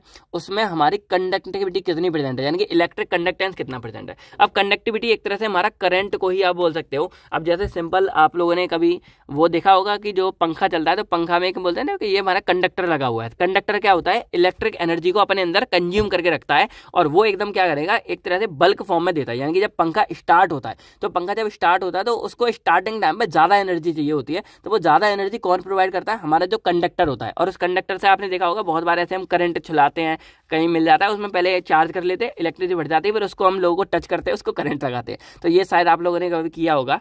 तो यही है हमारा कि it is the measurement of conductivity यानी कि इसमें हम इलेक्ट्रिक कंडक्टेंस जो होते हैं, उसको हम मीजर करते हैं। सॉल्यूशन में किसकी हेल्प से कि उसके अंदर जो हमारा सॉल्यूशन है, उसके अंदर जो हमारे कैटाइंस और एनाइंस है, उनकी मूवमेंट को देख के, कि वो हमारे कितने ज़्यादा मूव कर रहे हैं, उसी की मदद से करते हैं। इलेक्ट्रॉड इसमें प्रेजेंट ही होते हैं इलेक्ट्रॉड की तरह। मान लो ये हमारा कोई सोल्यूशन है, इसमें ये दो इलेक्ट्रॉड है तो हमारा कैटाइंस और एनाइन जो इसकी तरह मूव कर रहे हैं, इसी की मदद से, यानी कि जो कितना कैसे मूव कर रहे हैं, उनकी मदद से हम उसकी कंडक्टिविटी को यहाँ पे मीजर करते हैं, ठीक है? अब conductivity generally measure by using a Wheatstone bridge current अब अगर आपने कभी Wheatstone bridge current circuit circuit के बारे में पढ़ा होगा तो उसी की मदद से हम इसमें करते हैं, पूरा एक सर्किट तैयार होता है, जिसमें ऐसे ऐसे रजिस्टेंस वगैरह लगी होती है तो वही होता है। बाकी कंडक्टेंस को हम जो है वन अपॉन आर रजिस्टेंस भी कर सकते हैं, कि रजिस्टेंस हमारा जितना ज़्यादा कंडक्टेंस हमारा उतना ही कम हो जाता है। बाकी कंडक्टिविटी हमारा डिपेंड करता है आइंस के टाइप्स पे आइंस की कंसनट्रेशन पे टेम्परेचर पे, और जो मोबिलिटी हमारी आइंस की उन चीज़ों पर भी हमारा डिपेंड करता है। तो यह कंडक्टिविटी आप थोड़ा सा समझ गए होगे लॉन्ग में आप जाके देख लेना। बाकी अब हम लास्ट क्वेश्चन की अपनी बात करते हैं, वो हमारा है डिफाइन पोटेंशियोमेट्री तो पोटेंशियोमेट्री क्या होता है? तो it is the technique in which potential is measured under the condition of no current flow यानी कि कोई भी हमारा एक सॉल्यूशन है, उसमें क्या हो रहा है कि करंट फ्लो नहीं हो रहा है, लेकिन फिर भी हमको क्या करना है, उस वाले सॉल्यूशन की पोटेंशियल को फाइंड आउट करना है कि वो पोटेंशियल कैसा क्या है। तो the measured potential is due to determine the concentration of sub component of the analyte solution अब इसमें हम जो पोटेंशियल है, उसका फिर हम मीजर करते हैं किसी भी सॉल्यूशन के सॉल्यूट की कंसेंट्रेशन को पता करने के लिए। तो पहले हमने उसमें क्या किया? पोटेंशियल पता किया। देन पोटेंशियल के बाद हमने उसमें क्या किया, अपने सॉल्यूट के जो कंसंट्रेशन है उसको पता किया। प्रिंसिपल क्या, कैसे काम करता है? तो when a pair of electrode is placed in sample solution हमने एक सैंपल सॉल्यूशन में ऐसे अपने इलेक्ट्रोड को प्ले मतलब प्लेस कर दिया। It show the potential difference by addition of titrant और by change in the concentration of ion अब जब हमने ये चेंज करता है तो हम इसमें अपने आइंस डालेंगे, या जो कंसंट्रेशन डालेंगे तो आपको पता है आइंस हमारे एच पॉजिटिव और ओ एच नेगेटिव ये हो सकते हैं। तो ये क्या करेंगे? करंट को मतलब चेंज करेंगे, जो पोटेंशियल है, इनमें डिफरेंस क्रिएट करेंगे दोनों में। और जब डिफरेंस क्रिएट होगा तो ऑटोमेटिक यहाँ पर क्या होगा? हमारे पोटेंशियल जनरेट होगा। वो पोटेंशियल हम यहाँ पर कैलकुलेट कर लेंगे और सिर्फ़ पोटेंशियल कितना जनरेट हो रहा है, उसकी मदद से हमको सॉल्यूट की कंसेंट्रेशन को पता लग जाएगा, क्योंकि सॉल्यूट जितना ज़्यादा पोटेंशियल हमारा उतना ज़्यादा जनरेट होगा। तो इस तरह हम अपने पोटेंशियोमेट्री में ये चीज़ें पता कर सकते हैं। आई होप ओवरव्यू आपको मिल गया होगा कैसे क्या होता है। तो ये हमारे पचास तक के क्वेश्चन यहाँ पर हो गए हैं। अब अब ये लास्ट के फाइव क्वेश्चन है, इसका आप स्क्रीनशॉट ले लो और ट्राई करो कि आप खुद इसको क्या कर सको सॉल्व कर सको। टाइम वगैरह मुझे ज़्यादा नहीं लग पाया था तो मैंने यहाँ लिख के रख दिया। अब इन पाँच क्वेश्चन को आपको क्या करना है, पूरा का पूरा मतलब अच्छे से स्क्रीनशॉट ले लो और इसको आप कोशिश करो कि आप इसको डिफाइन कर सको, ठीक है? तो यही हमारे पाँच क्वेश्चन हो गए। बाकी आई होप आपको ये सारे के सारे समझ आ गए होंगे। अब आपको ओवरव्यू अच्छे से मिल चुका है सारे के सारे क्वेश्चनों के बारे में। तो बस आज की वीडियो में इतना ही। आई होप आपको ये वीडियो अच्छी लगी होगी। अब वीडियो कैसी लगी कमेंट करके ज़रूर बताओ। बाकी कोई भी अगर डाउट्स है तो कमेंट करके फटाफट पूछ सकते हो। बाकी इस वीडियो को लाइक कर देना। लाइक हम रखते हैं वन थाउज़ेंड लाइक्स अगर आप कर देते देन बहुत जल्दी हम आपको जो है इनऑर्गेनिक केमिस्ट्री के भी प्रोवाइड कर देंगे। तो बस मिलते हैं हम आपसे बहुत जल्द नेक्स्ट वीडियो में, तब friend thank you take care and आप सभी लोग अपना अपनी फैमिली का ख्याल रखिएगा। बाय बाय दोस्तों, जय हिंद दोस्तों। All the best for your exam